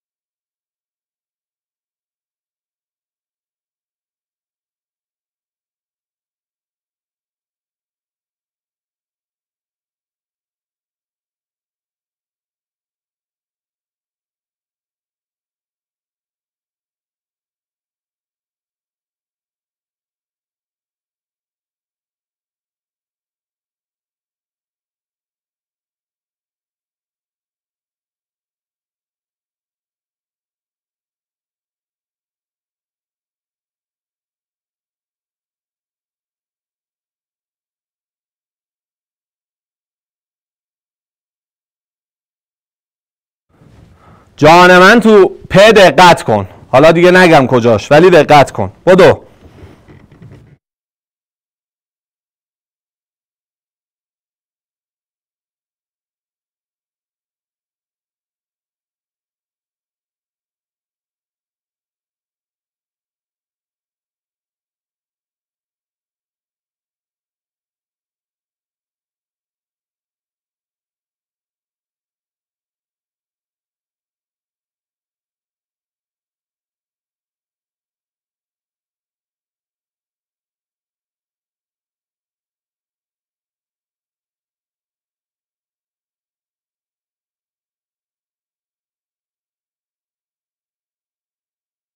خب.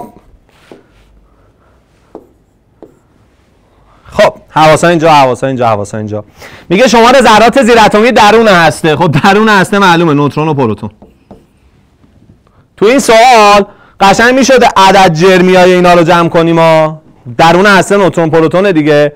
بگیم کربونه نوترون پروتونش بوده 12 تا چون عدد جرمیش 12 اکسیژن هم عدد جرمیش بوده چند؟ 18 بگم دو تام 18 تا جمع می‌شده این کارو کرد. ولی من می‌خوام اصولی نگاه کنم به این. یعنی همه رو بشمرم یه بار. میگم آقا پروتوناش.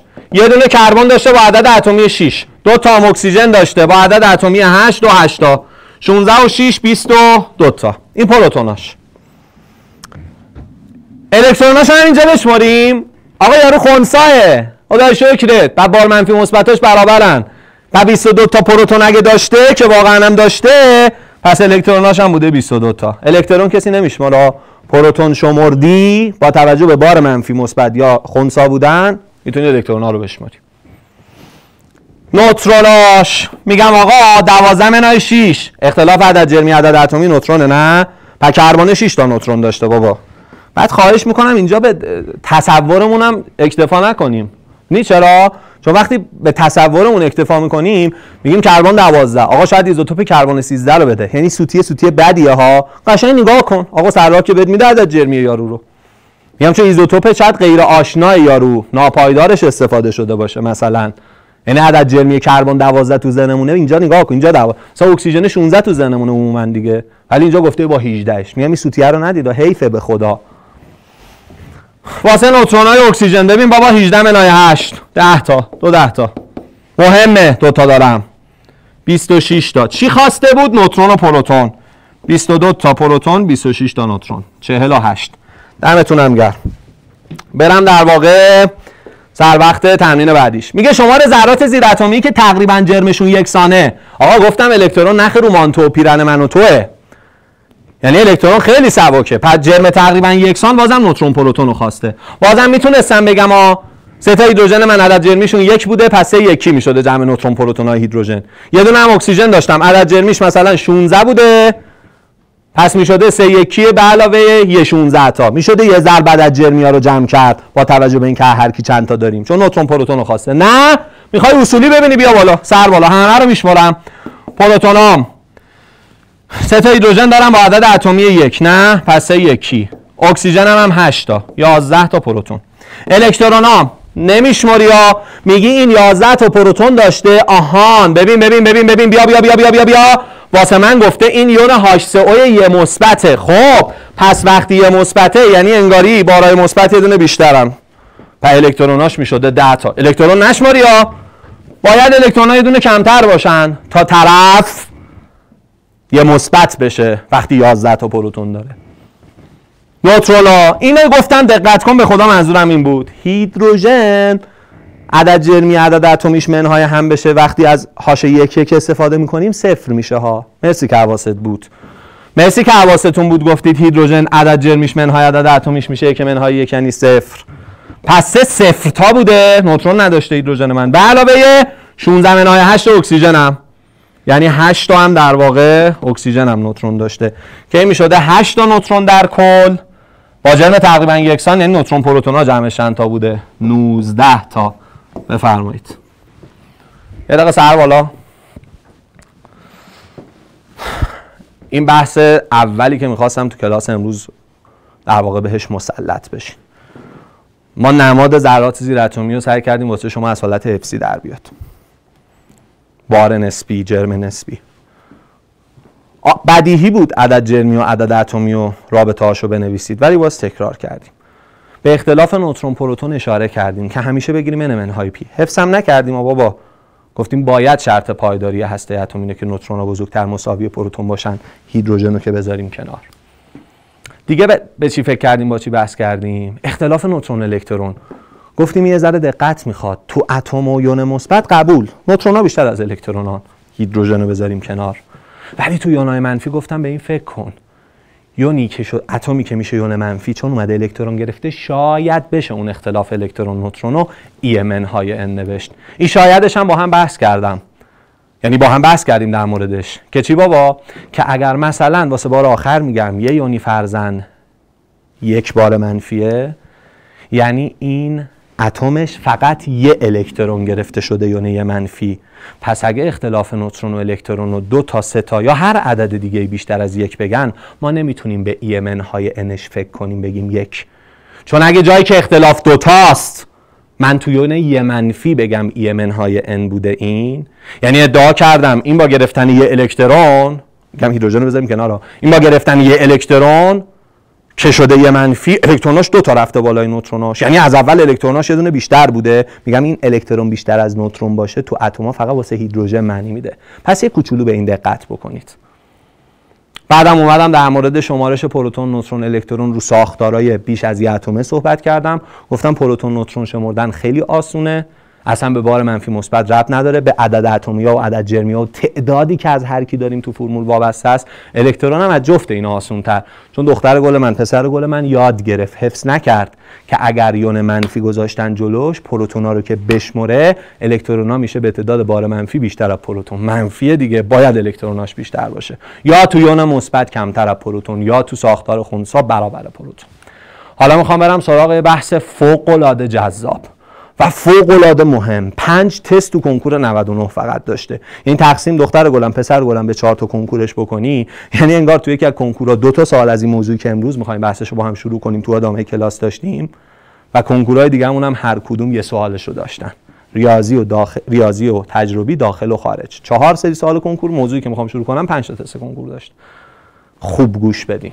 حواستون اینجا باشه لطفا. ببینید بچه ها خیلی با دقت خیلی حرفه‌ای. قرار یه چیزی رو عالی بفهمی عالی یاد بگیری.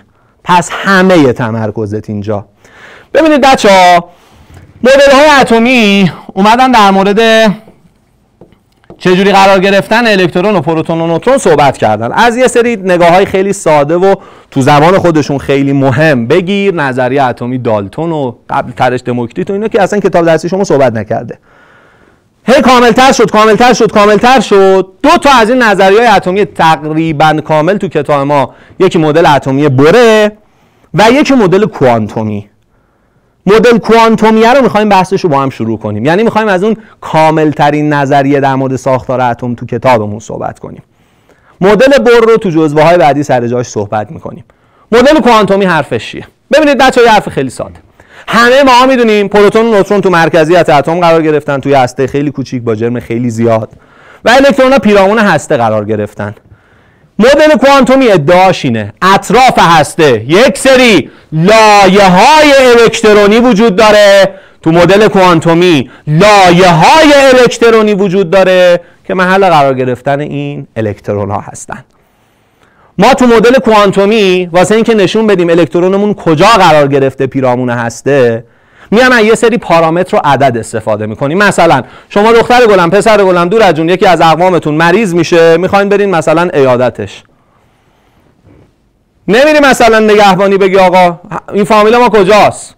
یارو با دست نمی‌تونه نشون بده که. حواست به منه. میگه آقا برو فلان طبقه. مثلا چه می‌دونم بخش جراحی. فلان اتاق تخت فلان. یعنی یه سری کد بهت میده که طرف دقیق پیدا بکنی. تو مدل کوانتومی هم واسه اینکه الکترون بدونیم کجاست جاش کجا پیرامون هسته قرار گرفته یه سری کد باید بهمون بدن. یه سری پارامتر بگن که جای الکترون معلوم شه. توی شیمی دختر گل من پسر گل من بابا جان چهار تا اطلاعات وجود داره که بهش میگن چهار تا عدد کوانتومی که دقیق به ما می‌تونه بگه الکترون کجا قرار گرفته. بابا جان کتاب شیمی نظام جدید از این چهار تا عددی که با این چهار تا میشه دقیق گفت الکترون کجا قرار گرفته دو تاشو حذف کرده. فقط دو تا عدد یا دو تا اطلاعات اول رو معرفی کرده. مثل این که شما می‌خوای بری ایادت یکی بعد مثلا طرف بگه برو طبقه مثلا دوم بیمارستان بخش اطفال مثلا. آقا کدوم اتاق؟ در اتاقا رو بزنم ببینم کامبیس کجاست یا مثلا چه نرگس کجاست؟ بعد مثلا ملافه کشیدن رو خودشون مریضا تو اتاق. همه ملافه ها رو بدن با کیه؟ فامیل ما کدومه؟ می‌خوام بدونم یه ذره انگاری ناقص گفته کتاب مدل کوانتومی رو. از چهار تا اطلاعاتی که لازمه تا یه ضرب جای الکترون رو پیدا کنیم دو تاشو حذف کرده. ولی ما خیلی هم خوشحال میشیم. کاش چهار تاشو حذف می‌کرد. کنکورمون ساده تر می‌شد. هر چیزی که کم می‌کنن ما استقبال می‌کنیم. چون بحث واسه ما ساده تر می‌کنه. دو تا عدد وجود داره. از چهارتایی که تو شیمی وجود داره. دو تا عدد که تا ما معرفی کرده. دو اطلاعاتی که تو مدل کوانتومی معرفی میشه که خورده کمک می‌کنه که بتونم بهتر جای الکترون رو تشخیص بدم. این دو تا عدد پس مدل مدل های اتمی مدل بور تو کتاب ما بحث شده و مدل کوانتومی. که من و تو می‌خوایم در مورد مدل کامل تره کتاب یعنی مدل کوانتومی صحبت کنیم. در مدل کوانتومی چهار تا عدد وجود داره که جای الکترون باهاش تشخیص داده میشه. دو تای آخر کتاب نگفته. منم کاری بهش ندارم. اما دو عدد دیگه. اولیش عدد کوانتومی اصلی که با این نمایشش میدن. و نشون دهنده موقعیت لایه است عدد کوانتومی یک میشه عدد کوانتومی اصلی با n نشون میدن و موقعیت لایه رو نشون میده. یعنی انگار طرف میگه کدوم طبقه لایه الکترون معلوم میشه. تو کدوم لایه است؟ تو کتاب ما تو شیمی لایه های پیرامون هسته می‌تونه از یک تا هفت باشه واسه یه اتم. پس اگه بهت گفتن مقادیر عدد کوانتومی اصلی چیه؟ میگه از یک تا هفت. گفتن چی رو نشون میده؟ میگی لایه های پیرامون هسته رو نشون میده. اما در مورد این انه رو با هم بحث کنیم موافقی؟ یه سوال ازت بپرسم. به نظر تو من وقتی تو نزدیکترین لایه ممکن به هم یعنی لایه اول وضعیت الکترون وضعیت خوبیه یا وضعیت ناپایدار؟ میگم از کجا بدونم میگم یه مثال می‌زنم. آقا فرض کنیم یه کنسرتی دعوت شدیم خواننده مورد علاقمونم تو این کنسرت داره می‌خونه هر کی دوستش داره. مجاز غیر مجاز گردن خود به نه. بعد این سالن کنسرت چجوریه؟ این خواننده که عشق توه خیلی با صداش حال می‌کنی نشسته روی سن دایره شکلی با گروهش یه سری ردیف صندلی هم چیدن می‌خوام بهت بگم اینجوری در نظر بگی شبیه تعزیه این شهرستان یعنی تو ما روستای سمت مادرمون اینا تعزیه خون زیاد داره. همیشه بچگی یادمونه. ردیف صندلی میذاشتن این تعزیه مثلا شروع می‌کرد اجرا شدن. آقا تو اگه خواننده مورد علاقت رفته اون ردیف وسط وسط وسط داره می‌خونه رو اون سنه بهت میگن آقا دست خودت کجا میشینی؟ به خدا قسم اگه بذارن میریم رو سن. چون نمی‌ذارن میگم بلش کن رو سن که نمیشه. میشینم ردیف اول. میگن چه خبره میشه میگه آقا تا حد امکان به اون کسی که دوستش دارم نزدیکم دیگه. حالم خوبه. الکترون مگه هسته ای که بارش مثبته به خاطر حضور پروتون واسش جذاب نیست؟ پس سعی می‌کنه تا حد امکان اگه دست خودش باشه بره نزدیک هسته بشینه. پس من یه ادعای می‌کنم. لایه های نزدیکتر به هسته لایه هایی هستن که الکترون ترجیح میده عموما اونا رو انتخاب کنه. و به اونا ورود پیدا بکنه و اونجا الکترون ما پایدار تره پس هرچی ان من که می‌تونه از یک تا هفت باشه بره بالاتر. من الکترونم داره از محبوبش که هست از پروتونای هسته دور میشه. پس ناپایدار میشه. بدیهیه که تو لایه های بالاتر ما پایداری کمتری داشته باشیم. ماجی کم عوض کنم بهتره نه؟ تو لایه های بالاتر ما پایداری کمتری داریم.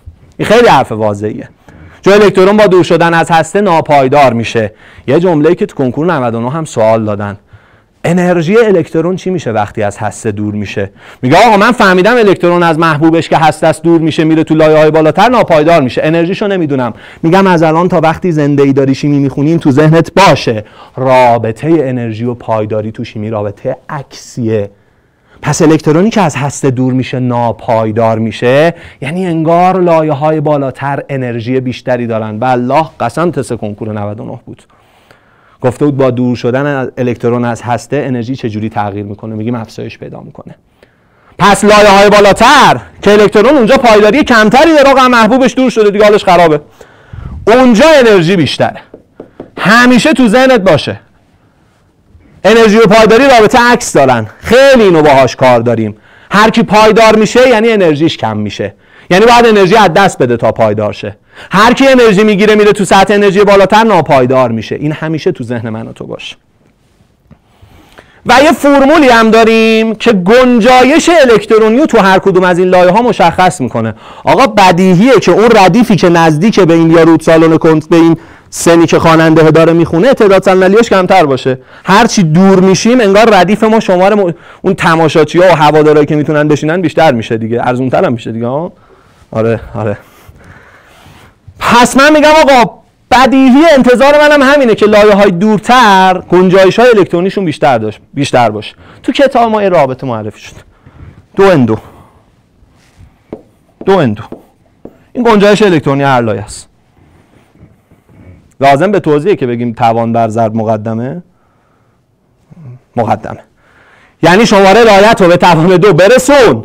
بعد تو دو ضربش کن. مثلا لایه 5 دختر گل من پسر گل من چند تا گنجایش الکترونی داره؟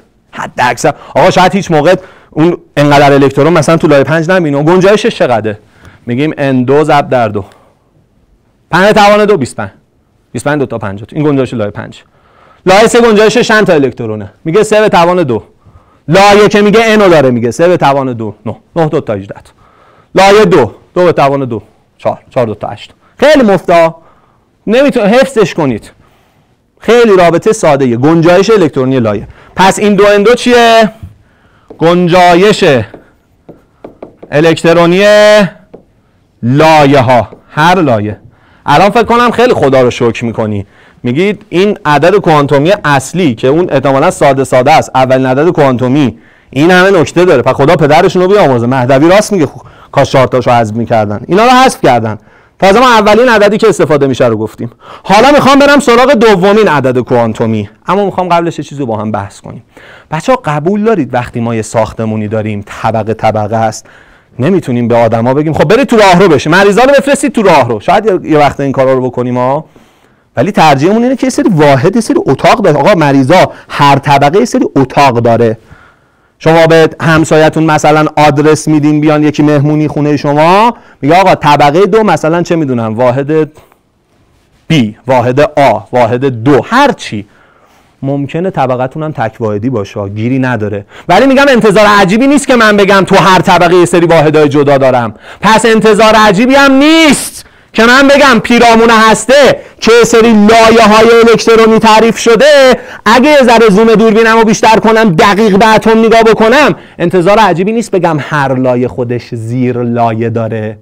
پس مثل ساختمون که چند تا طبقه داره هر طبقه سری واحد پیرامون هسته سری لایه داریم. هر لایه رو ذره دقیق نگاه کنیم زوم دوربینه رو بیشتر کنیم می‌بینیم هر لایه خودش می‌تونه یه چند تایی هم زیر لایه داشته باشه. پس عدد کوانتومی رعدی که من با اجازه شما میام پایین معرفیش می‌کنم چون جا ندارم. عدد کوانتومی فرعیم که دومین عدده عدد کوانتومی فرعیم که با ال نمایشش میدن قرار موقعیت بابا زیر لایه ها رو نشون بده. پیرامون هسته هفت لایه داشتیم با n نمایش داده می‌شد. حالا هر لایه میگیم یه سری زیر لایه آقا بچه باید سوال بپرسه اینجا. من کجا بدونم لایه سم چند تا زیر لایه داره؟ از کجا بدونم لایه هفتم چند تا زیر لایه داره؟ نکته اینو میگه که آقا جون این که شما تو هر لایه‌ای که انشو دارید دقت بکنیم لطفا چند تا زیر لایه داشته باشیم وابسته است به شماره لایتون میگه یعنی چی؟ میگم تو هر لایه که تو انشو بدونی شماره های زیر لایه هات میشه صفر تا ان منهای یک. یا آزمون آزمایشی خیلی سوال خوشگلی داده بود. روی فکر کنیم. گفته بود مقادیر مجاز برای عدد کوانتومی فرعی یا ال تو هر لایه رو n تعیین می‌کنه. راست میگه. تو لایه چهار که انش چهاره مقادیر الای زیر لایه ها. حواست به منه؟ می‌تونم بگم n تعیینش می‌کنه. چه شکلی؟ بگم صفر تا n منهای یک. تو هر لایه ما زیر لایه داریم. پس الای زیر لایه های لایه چهار میشه صفر تا n منهای یک. صفر یک دو سه. انقدر سوتی میدن بچه ها اینو خیلی هم خوشگل سوتی میدن. چون ماها بهشون میگیم مقادیر ال یعنی اون شماره های مربوط به زیر لایه ها تو هر لایه. میشه از صفر تا انمن های یک بعد ازشون می‌پرسیم چند تا زیر لایه تو هر لایه داریم. چون نه که ماها گفتیم تا انمن های یک میره. میگن لایه چهار چون تا انمن های یک میره یعنی تا سه میره. پس شماره زیر لایه ها چون تا سه میره پس سه تا زیر لایه داره. نه نه نه نه. از صفر تا انمن های یک شماره زیر لایه هاست. پس دقت کن حواست به من. توی لایه مثل لایه سه که انش سه الاش مقادیر زیر لایه هاش عددهای کوانتومی فرعی این لایه سه. از صفر تا المن های یک. صفر یک دو. سه تا زیر لایه داره لایه سه. درسته الاش تا دو میره تا انمن های یک ولی از صفر میره تا انمن های یک. یعنی انگار یه سری هنوز جنگ و جدل داری میگن همکف و طبقه حساب کنیم یا نه. آقا تا طبقه سه میره. ولی من خیلی وقتا میگیم چهار طبقه چهارم. چون همکفم آقا ال صفر زیر لایه است معنی هیچی نیست. الان تو من بگو. تو لایه هفتم مقادیر ال من چیه؟ یعنی زیر لایه هم چه شماره داره؟ میگه لایه هفت انش هفته مقادیر ال یعنی شماره های زیر لایه هاش. میشه از صفر تا ان های یک. صفر یک دو سه چهار پنج شیش. بابا هفت تا تا n های یک میره ولی بشمریم چند تا زیر لایه است از صفر تا n های یک میره. لایه پنج مقادیر الش سری سری تو ذهنت. لایه پنج مقادیر الش میگی لایه پنج انش پنجه پس مقادیر الش یعنی شماره های زیر لایه هاش میشه صفر یک دو سه چهار پنج تا زیر لایه داره. حالا بچه سوال می‌پرسه های مهدوی. گنجایش هر زیر لایه چقدره؟ یعنی آقا مهدوی یه دقیقه نگاه. مثلا ما از شما قبول کردیم. حواسا به من. که تو لایه مثل لایه سه الامون می‌تونه صفر باشه می‌تونه یک باشه می‌تونه دو. آیا مقادیر یعنی گنجایش الکترونی این زیر لایه هام تو شیمی مثلا واسهش رابطه ای داریم؟ میشه حد زد زیر لایه‌ای که الش صفر چند تا الکترون می‌گیره زیر لایه‌ای که الش دو چند تا الکترون ال میگیم بله واسه گنجایش زیر لایه ها رابطه ما چهار ال به علاوه دو خواهد بود. من تا الان با شما در مورد چی صحبت کردم؟ گفتم تو مدل کوانتومی واسه اینکه آدرس بدیم جای الکترون رو پیدا بکنیم چهار تا عدد احتیاجه. کتاب ما دوتای آخر رو نگفته. دو تا پارامتریه. اولی که داریم اولیش n یا عدد کوانتومی اصلی لایه رو نشون میده. مقادیرش یک تا هفت. باهات بحث کردم. گفتم الکترون تو لایه های بالاتر این در واقع هم که زیاد میشه چون از هسته دور میشم فاصله از هسته زیاد میشه دیگه پایداری لایه های نزدیک به هسته رو قطعا ندارم. پس دور شدن تو n های بالاتر رفتن یعنی انرژی زیاد شدن یعنی کم شدن پایداری. بعدم بهت گفتم لایه اول و لایه هفتم گنجایشاشون مثل هم نیست. فرمول میگه دو اندو میشه گنجایش هر لایه. با هم, هم بحث کردیم مثلا n 3 باشه گفتیم 3 به توان 2 9 2 تا 18 لایه‌مون n 6 باشه تو لایه 6 6 به توان 2 36 2 36 72 بعد گفتیم آقا خود لایه یه سری اجزای یه سری انگاری زیر مجموعه داره. اسم زیر لایه. گفتیم زیر لایه رو با چی نشون میدن؟ گفتیم عدد کوانتومی فرعی که نمادش ال باشه. گفتیم چجوری ما تشخیص بدیم هر لایه چند تا زیر لایه داره چه زیر لایه هایی داره؟ گفتیم اینو n لایه تعیین می‌کنه. تو هر لایه تو n تو بدون شماره. بابا نمیگم شماره زیر لایه هاش n های یکیه. شماره زیر لایه ها شماره مربوط به الای اون لایه میشه صفر تا n های یک. مثلا لایه چهار الاش شماره زیر لایه هاش میشه صفر یک دو سه. اما شماره زیر لایه هاش صفر یک دو سه چهار تاست. بعدم گفتیم توی لایه که زیرلایه های مختلفی داره گنجایش زیرلایه ها مثل هم نیست. واسه گنجایش زیرلایه ها هم رابطه معرفی کردیم دیگه. گفتیم 4 ال به علاوه دو. یعنی الان به من میشه بگی تو ذهنت لایه سوم من که انش سست الاش شماره زیرلایه هاش میشه 0 1 2 به من میگه هر کدوم از این زیرلایه ها چند تا گنجایش الکترونی دارن. مثلا اونی که الش صفره 4 ال به علاوه دوش میشه 4 صفر تا صفر را به علاوه دو دو. پس ال صفر من گنجایش الکترونیش مثلا دو تاه این زیر لایه ال یک من. زیر لایه که الش یکه. 4 ال به علاوه دوش. میشه 4 یکی 4 تا به علاوه دو 6 تا. یعنی این زیر لایه گنجایش الکترونیش میشه 6 تا. ال دو من. میشه 4 ال به علاوه دو گنجایشه 4 دو تا 8 تا به علاوه دو 10 تا. پس ال دو من زیر لایه که الش دو 10 تا الکترون توش میشه. الان نگاه نگاه نگاه نگاه. کل لایه سه من با فرمول دو ان دو می‌شد سه به توان دو. دو نه تا 18 تا. گنجایش 18 تا بود. الان هم بشموری گنجایش کل زیر لایه هاش دو 6 8 8 و 18 آه یکی شد. کلید اسرار. آقا باید یکی بشه. جای تعجب نداره آقا همیشه یکی میشه. چه فرقی داره؟ تو هایی بگی گنجایش لایه سه چند تا الکترونه چه بر اساس بر اساس اینکه هر کدوم از زیر لایه هاش چند تا الکترون توش را میشه بیای کل زیر لایه ها رو جمع بزنی بگی این لایه گنجایشش چقدر. صحبت قاعده آفبا که بحث اصلی من و تو هستش توی این جزوه در مورد اینه که این لایه ها و زیر لایه های پیرامونه هسته به چه ترتیبی پر میشن. که بحث ترتیب پر شدن لایه ها و زیر لایه ها که قاعده آفا باشه انشالله با امید خدا تو هفته آینده با هم در موردش صحبت خواهیم کرد. یه چند تا موضوع بچه ها اولا خسته نباشید. من تمام تلاش ها می‌کنم که کلاس خسته کننده نباشه. امیدوارم که تو این کار موفق بوده باشیم. ولی بازم خسته نباشید در هر صورت. به خدا می‌دونیم کلاس سخته ها یعنی کلا این فرم کلاس قطعا سخته. چون دو ساعت تمرکز حفظ کرد. به معلمه رو که می‌بینی تیز کلتون بر باشه من خودم اینجوری هم خانم آقا فلان فلان فلان. این قطعا این حواس بودن تو باید باشه. و این تمرکز حفظ کردنه من داد بیداد می‌کنم بالا پایین میپرم فلان بیسار اینا. ولی بازم کار اصلیشو خود تو باید انجام بدی. خواهشان کمکمون کنید تو این مسیر. تهش قرار همه برنده باشیم. این حرف همیشه یادتون باشه.